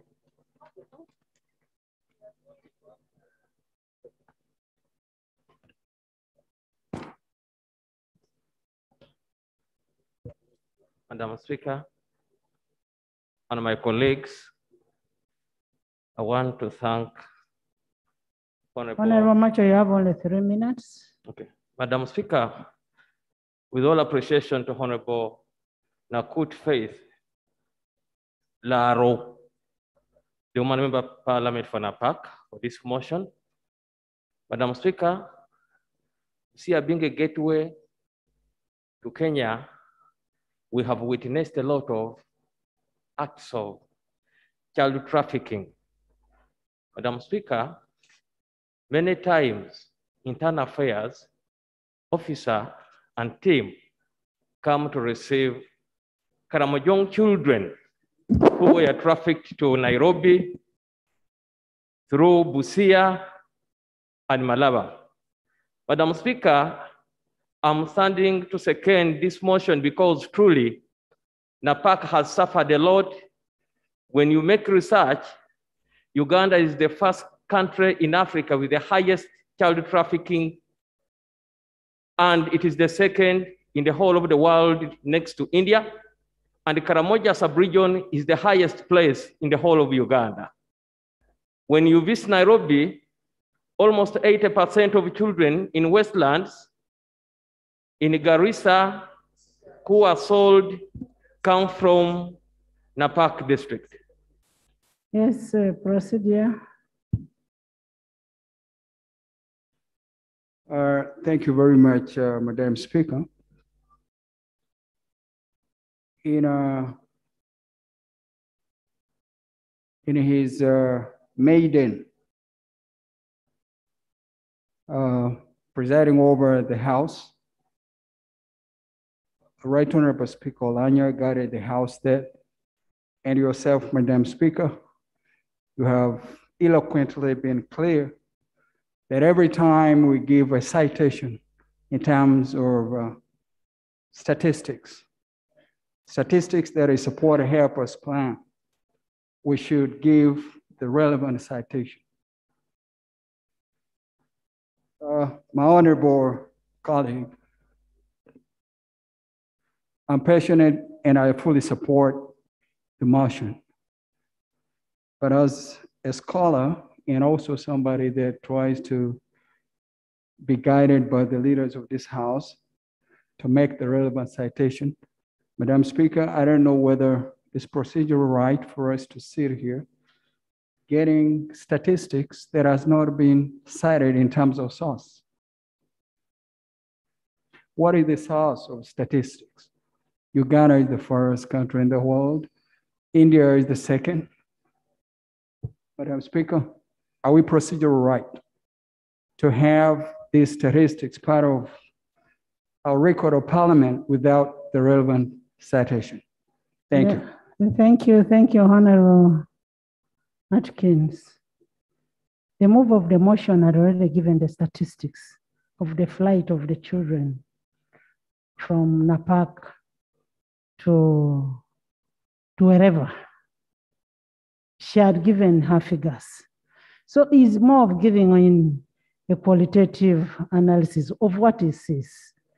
You may not have to repeat with that. The fact is, eight and, eh, eh, what she said, 871 children live in a park, of which 561 are girls, 310 are boys. Where they end up is the question. And that's why the border person is saying that they see so many children crossover. He may not have the capacity to count how many have crossed or come back because it is an illegal activity.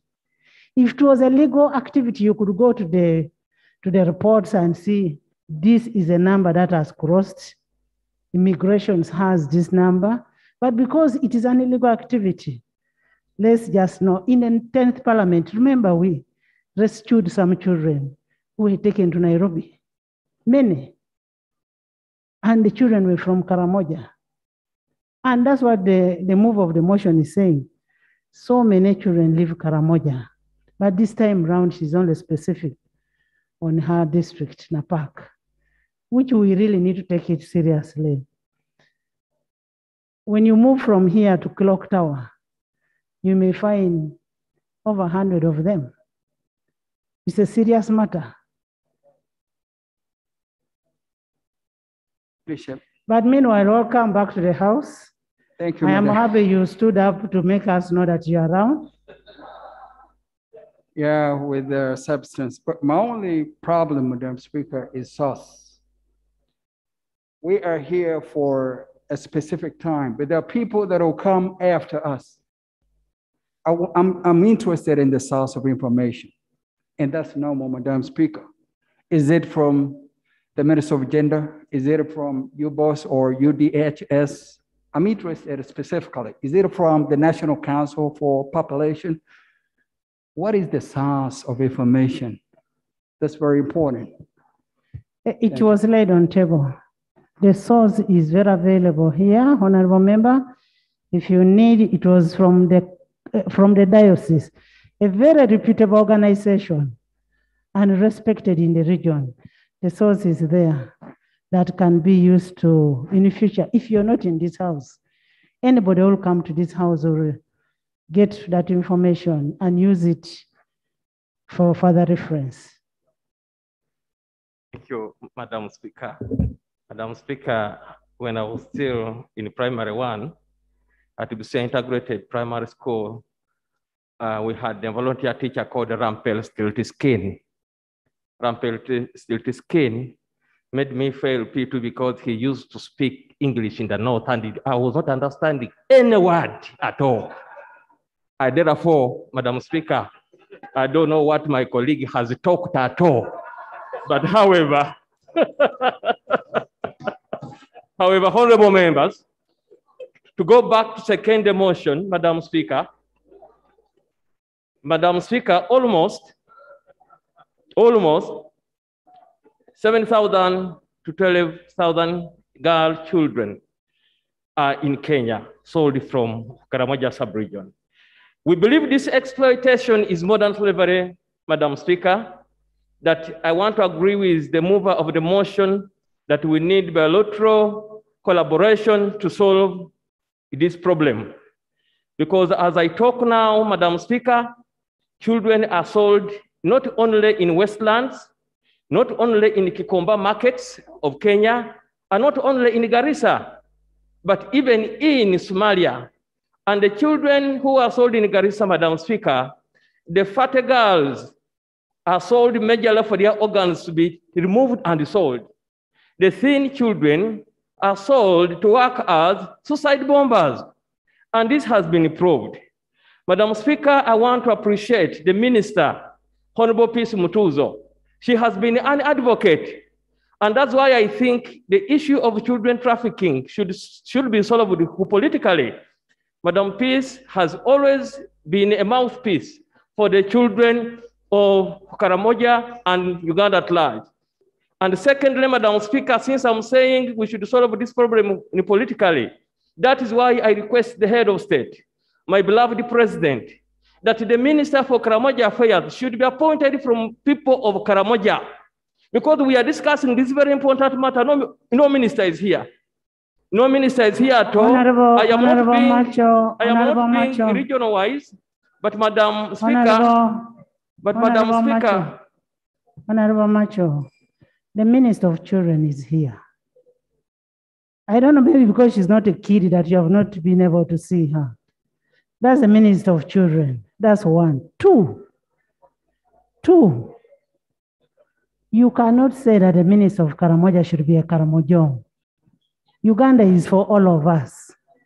Yeah, actually, the next Minister of Karamoja is going to be you.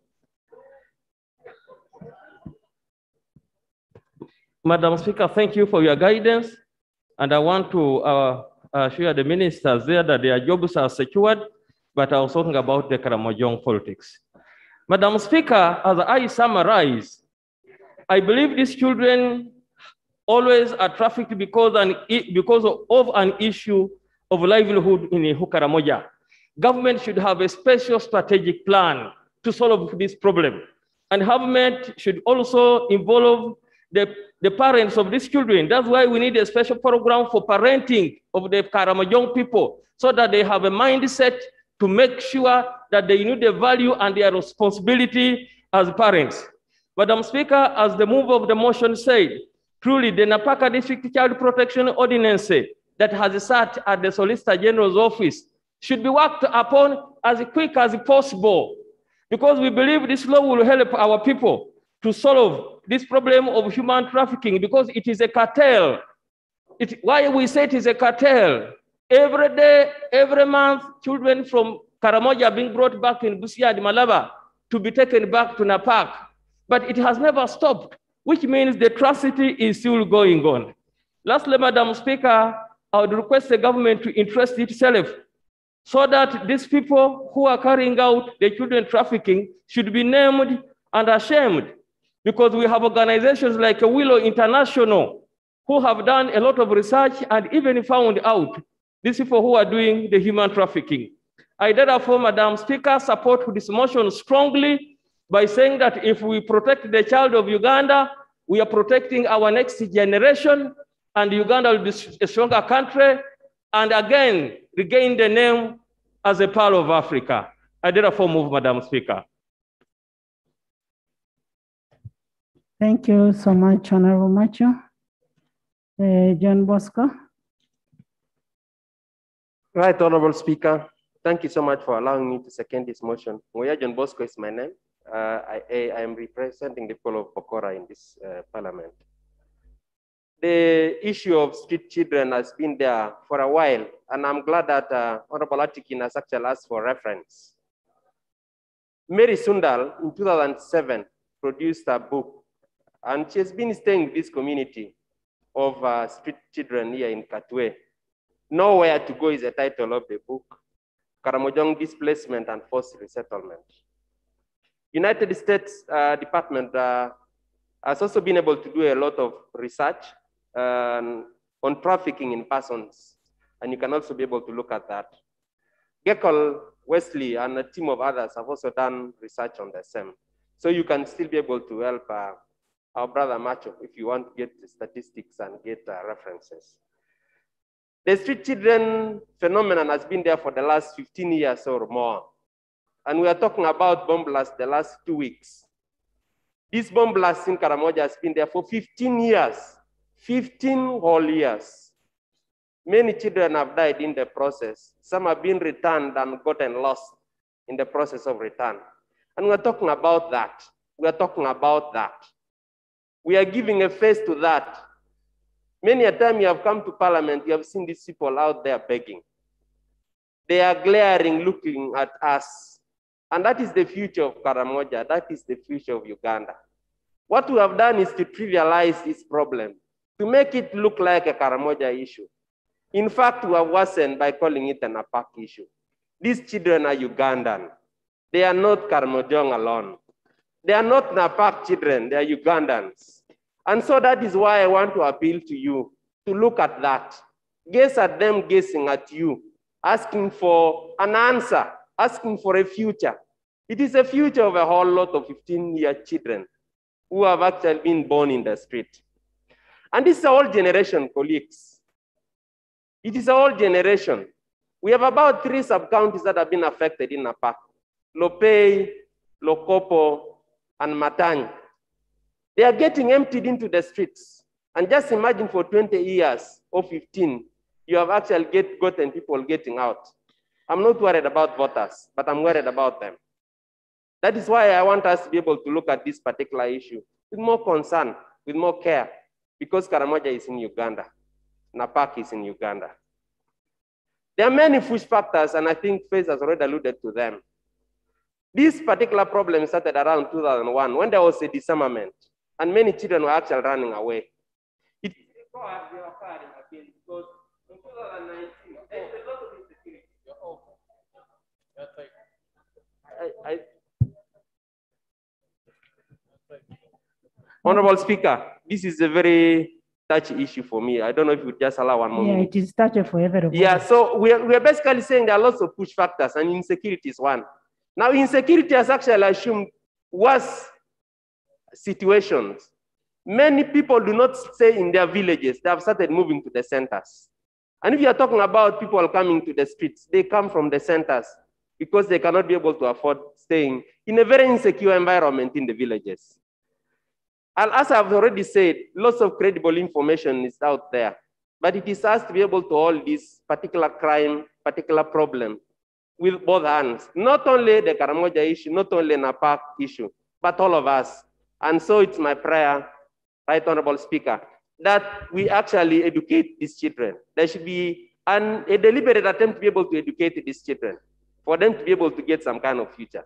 The second appeal and prayer, Honorable Speaker, is that we start thinking about how to reintegrate, but also to resettle in a manner that we are not dropping them, just like we are dropping rubbish. We should be able to deliberately think about how to deal with them when they return back home. Honorable Speaker, I submit. Thank you, thank you, Honorable Bosco. That takes us to the issue of the bylaw, Honorable Minister, which you need to make a follow-up. In the bylaw, we should be able to apprehend the parents, irresponsible parents. And it all takes us back to parenting. The other day, we were talking about parenting of the girl child. It Takes us about parenting. You find somebody, as she talked, a kid is sold at 5,000 shillings.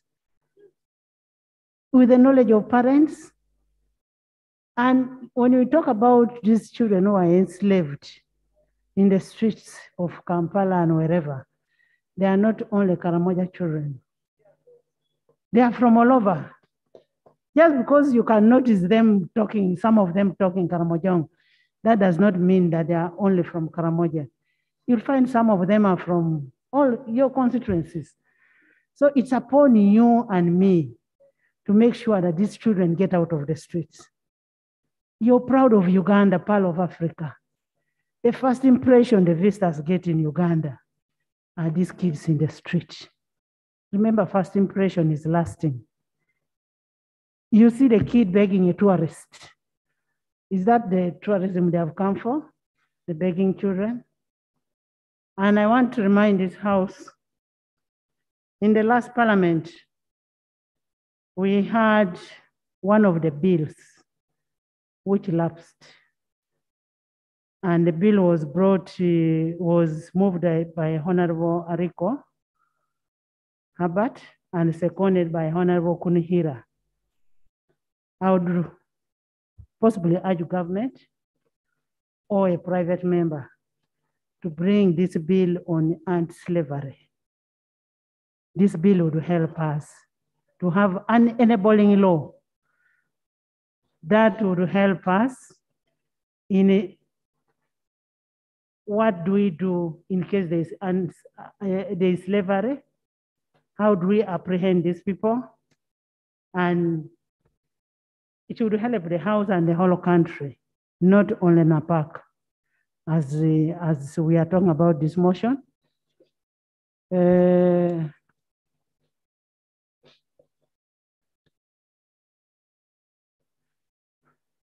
Oima. Gulu. Thank you very much, Madam Speaker. Uh, Madam Speaker, I stand to support the motion for the woman MP for Napak. Uh, right Honorable Speaker, as Parliament, we need to interest ourselves in knowing who these tra- child traffickers are. Uh, right Honorable Speaker, it is so painful as a mother.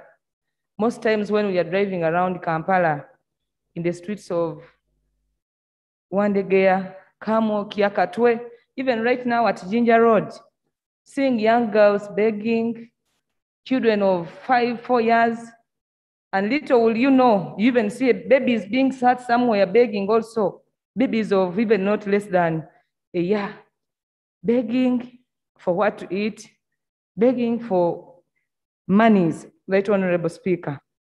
Right honorable speaker and honorable colleagues, most of these young girls have been impregnated on the streets. They have been able to produce childless fathers, and some of them have been infected with HIV AIDS. And automatically, Madam Speaker, when some of these children will be told to go back to their homes, automatically they will refuse because they, they will be rejected by the communities where they came from. Right, Honorable Speaker, as I stand to support this motion, I pray that security together with local leaders in the different localities where these children are coming from, do start on a search, community search for every family. If at all we know that such and such a family has been having 10 children, where are the rest? Where have they gone? And if we so find that these parents are some of the those people who have been selling out children, they be convicted, they be charged, because this is real selling of human lives. How do a parent, a guardian, sell off a child's life? Then you again take another pregnancy or producing more children. For nine months, you bear the pregnancy only to sell to those ones who are trafficking. Right, Honorable Speaker, as I conclude, I do support the motion, but also call upon Minister of Gender to come out strongly and do convict the culprits. Thank you very much, Madam Speaker. Honorable members, this is a very, very important motion. Very important that it touches everybody. You find people giving their children to be carried by these people to start begging. A small kid begging. To me, I really feel we must know who are these people who go and collect these children. We must know the motive. And we must identify the parents who are culprits in selling the children. This motion is really supported by everybody in this house. True. My suggestion is for us to end this and have children out of the streets. We send this motion to the Committee of Gender, which will study this motion, and the committee should be able to identify for us the people who are selling children. There's a motion here. Thank you, Right Honorable Speaker. Following your wise guidance and deliberations of honorable members, I would like to follow suit and move a motion that this House refers this matter to the Committee on Gender for exhaustive investigation and report back to the House. Thank you. Is the motion seconded? Seconded by everyone. Is the motion seconded? Honorable Sarah? Thank you. Thank you, Right Honorable Speaker. Right Honorable Speaker, I do second this motion. I did interface with the parents in Napak when they had the hepatitis E outbreak as Minister of State for Health then. So when we were in the field, one, that was one of the issues that we brought to the attention of the people, the LCs. And do you know what they told us, together with the woman MP? That you people are living very well in Kampala, enjoying yourselves there. Our children, when we send them there, they send us money. And therefore, we cannot stop this. So, Madam Speaker, I do support this motion that we send this matter to the Committee of Gender so that they get to the bottom of this. When we talked about the motion on the girl child, remember this trafficking was one of the issues that was brought up by the member of parliament who seconded my motion. So, Madam Speaker, there must be a time frame. This is the amendment that I wanted to make. I do support that motion. We give the Committee of Gender, I think 30 days would be ideal, so that they can report back with their report. Otherwise, if it's, no, no, no, 30 days is adequate. Thank you, right. Honourable. Members, No, let's be reasonable. Thank we you, will right. Give, we will give the committee two weeks. If they have not finished, they will come back and seek an Yes. extension. This is a very crucial matter. These children are even insecurity to us. Because when they come and beg you and you don't give, they will hit your car because they are frustrated. I put uh, a question that those in favor that we send this to a committee of gender with the amendment. Those in favor say aye and to the contrary, no. The ayes have it. Next. Motion. I am speaker, not chair, madam. Proceed, yes. Yes, uh, Honorable Aisha. Thank you. Kabanda. Thank you, Madam Speaker.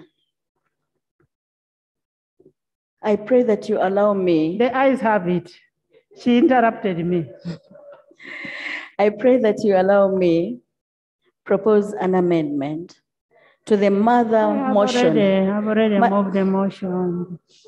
Madam, Honorable Kabanda. Madam Speaker, I beg that I'm Honorable- listened Honorable to. Kabanda, there is a, a procedure of raising that again. What you can do, you'll take that procedure matter to the committee, your issue to the committee, and it will be adapted and reported to the House. Madam Speaker, my, my amendment was on the prayers that had been proposed by Honorable in the original motion. Honorable Santa, Madam Speaker, Honorable Aisha is my friend and my member, but I feel constrained when the motion has already been passed for her to keep on insisting. you bring a fresh I motion. was uh, rising on a procedural issue, whether it's procedural right for Honorable to keep on arguing, and yet she has been given a leeway to go to the committee. Honorable Kabanda, what you're raising is very important. You will take to the committee and it will be considered at committee level. Uh, There is a motion seeking leave, Item merely eight, seeking leave. motion seeking leave of parliament to introduce a private members bill. Honorable Moma, you have something to say?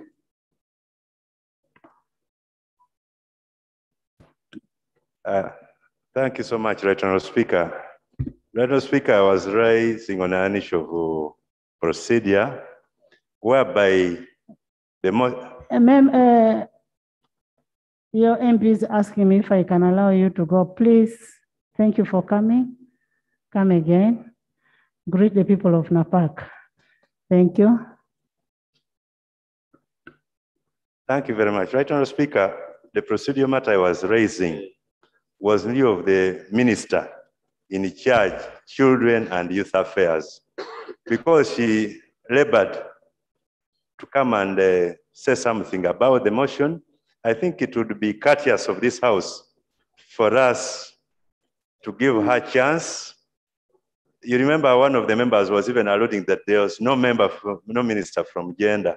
So I would do Honorable member, with due respect, the minister will go to the committee and present her issues. And I also defended the minister that the minister was here. So uh, she did not labor really uh, to do that. She came to do her legislative duty of being in the House. Honorable Minister, you will go to the committee and present, but thank you for, for being there for children. Honorable Peace, you've been praised by, by Smagola. Thank you. Uh, Honorable Sarah? Thank you, Right Honorable Speaker. Right Honorable Speaker, this is a motion seeking leave of Parliament to introduce a private member's bill entitled the Surrogacy and Assisted Reproductive Technology Act 2021.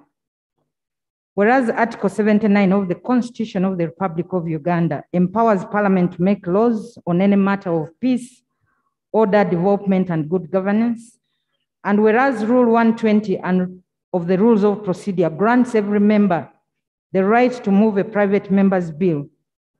Further, whereas Article 33 of the constitutional imperative of government is to ensure that the welfare of women and men is enhanced to enable them realize their full potential.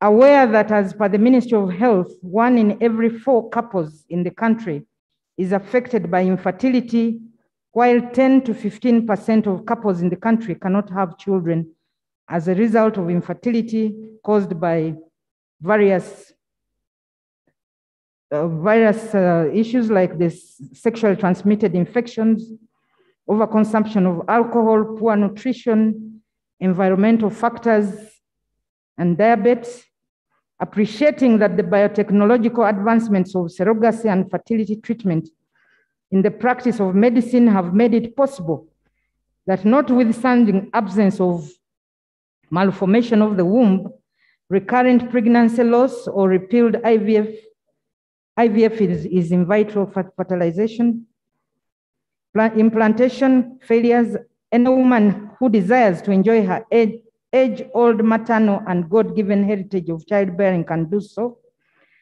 Concerned that there are many IVF clinics operating in the country currently and providing fertility care and surrogacy services, but with no regulation of or government supervision to guarantee the quality of service and promote ethical medical conduct, noting that the practice of surrogacy and fertility treatment has attendant legal, ethical, and social issues that include attribution of maternity between a biological and uterine mother in case of mistaken implantation, execution and implementation of gestational agreements and myriad of many other complications, including death resulting from gestational surrogacy.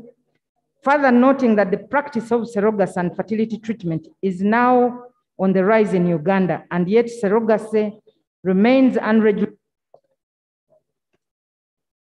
unregulated, notwithstanding the importance to set up laws that will regulate the practice for the better protection of the parties involved and for the orderly development of this medical field and to offer legal and state sanctioned reprieve to couples that are battling with infertility problems, considering that the lacuna in this practice of the medical field calls for enactment of a regulatory framework to guide the orderly advancements of medical field and Uganda as a society. Now, therefore, be it resolved that this House grants me leave to introduce a private member's bill for an act entitled the Surrogacy and Assisted Reproductive Technology Bill 2021, a draft of which Right Honorable Speaker is here to attached and do order the publication of the said bill in preparation for the first reading. I beg to move. Thank you so much, Honorable Sarah. Is the motion seconded? Is the motion seconded for introduction of I'm seeking leave of parliament to introduce a private member's bill. Is it seconded? Seconded by Dr. Bukenya Atkins. Hey. Seconded by Achen Docas, by Mary, uh, Santa, Honorable Dr. Simwe, yes, would you love to speak to your motion? Two minutes. Thank you, Right Honorable Speaker. Right Honorable Speaker, the freedom to procreate or not is a fundamental right of every adult above 18 years. And therefore, those facing challenges need to be assisted. We all know, Right Honorable Speaker, that in Uganda it was Professor Edward Tamale Ssali who started the fertility clinic over 10, 15 years now. And since then, there are so many clinics offering fertility services in the country. Secondly, Right Honorable Speaker, they are busy mothers, also women with challenges with their wombs that have gone into surrogacy. Surrogacy is when you hire another person or somebody to carry your baby for you. And this service, Right Honorable Speaker, is being offered currently. Right Honorable Speaker, there are also donors who donate their sperms and eggs to the various fertility clinics. We are also aware that the government constructed a specialized women's hospital at Mulago, and it is supposed to be offering, it's the, actually the first public fertility clinic in, in sub-Saharan Africa. Most of these clinics are actually private. So government constructed this hospital that is supposed to be offering this service. And also aware that WHO recognizes infertility as a disease. It's a public health issue that requires support. And Right Honorable Speaker, because of these issues, there is completely no law in place to regulate these services that are being offered here.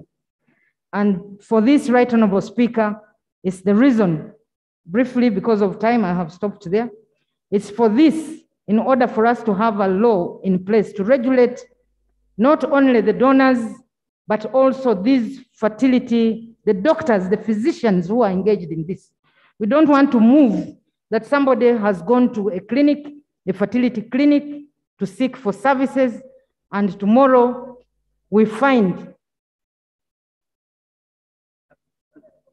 Honorable Musasizi, somebody resembling Honorable Musasizi on the street, and when they do a DNA, it is his son. And yes, and yet the, the, the sperm was merely, was used without his permission. So there is a need for regulation, right, Honorable Speaker. there is need to regulate this so that the donors are protected, so that even the children born out of this are protected. So, right, Yeah. Honorable Speaker, Thank you. I beg to submit. Thank you, Honorable, Honorable Wopa. When, when that uh, hospital was operationalized, were you not a state minister of uh, health? Right, Honorable Speaker, it's the reason why I'm here, because I did champion the legislation. And when I left, for the last three years, nothing has come out. And this is why I'm moving a No, I just wanted to know that, oh, is it operating without any regulation, any enabling law? Right, Honorable Speaker, they have trained experts. Uh, Allow me to say this, that certain times they are movers in a ministry.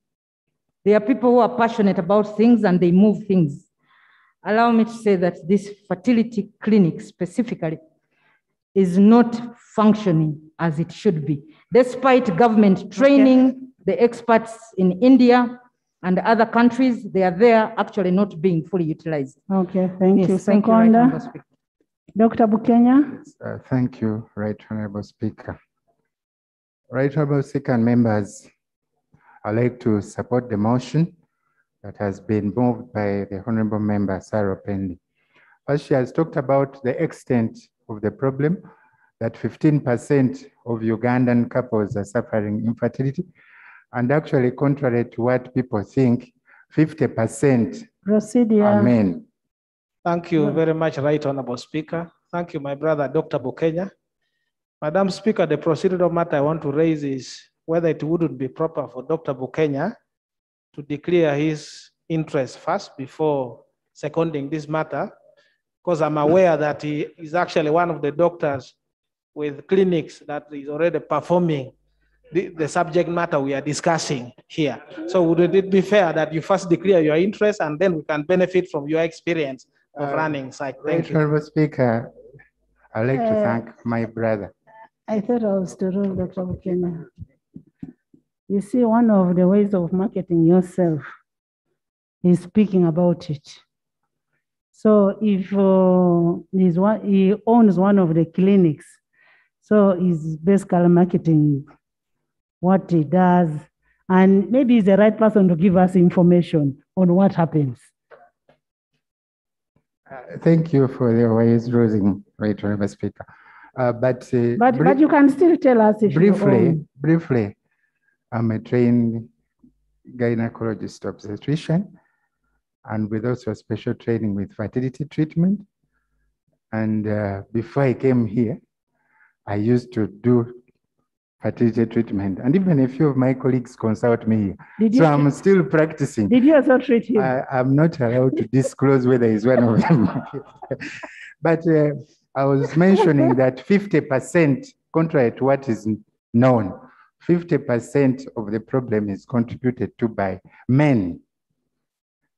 But there is need for treatment, that one we all agree. And like, and like my sister has mentioned, there are more than 10 fertility treatment centers in the country, which are private.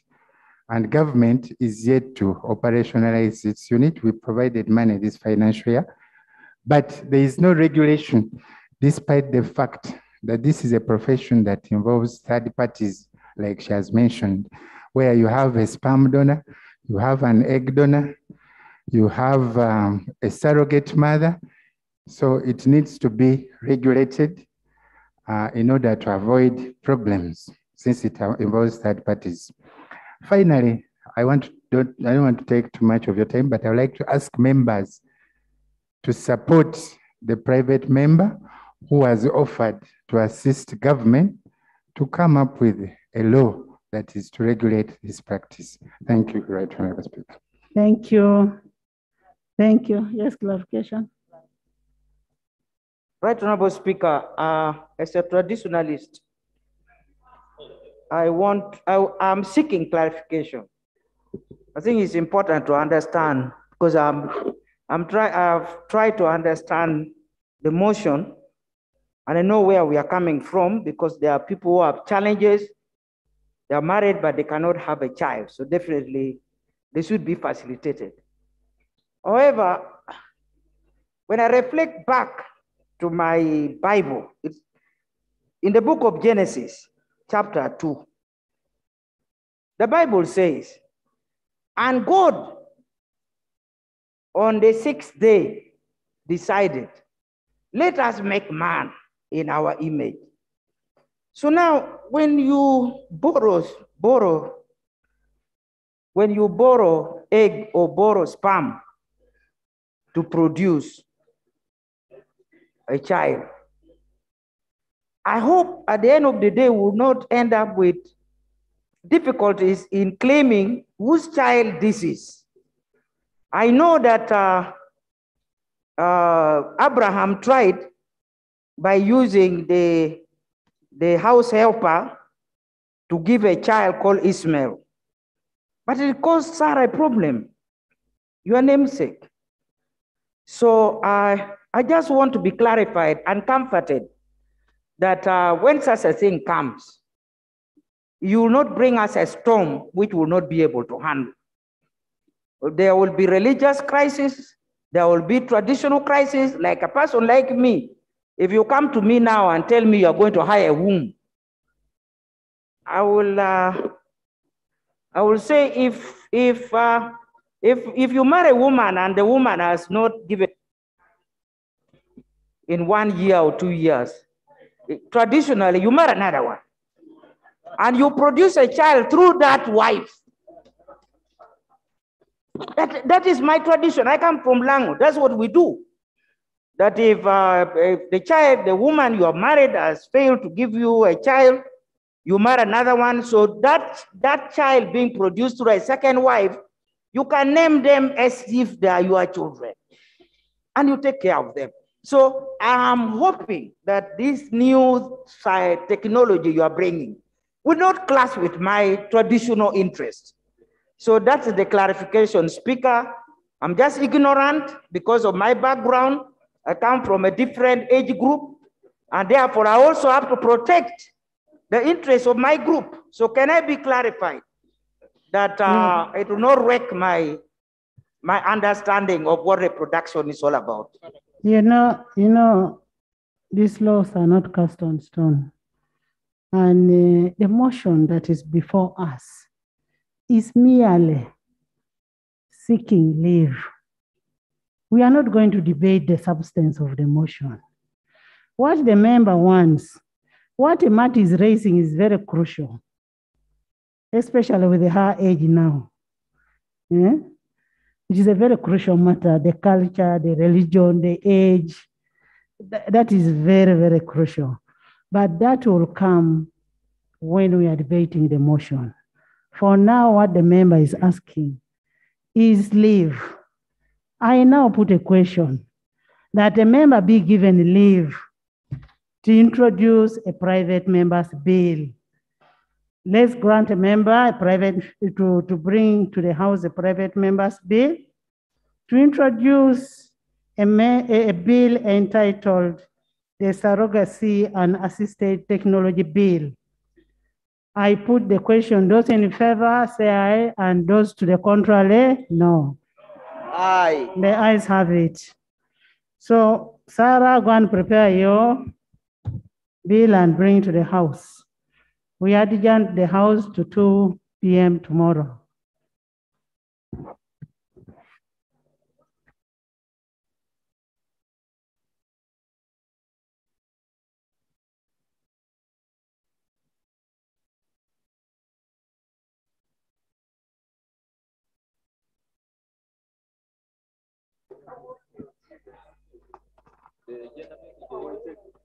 No, come. Come.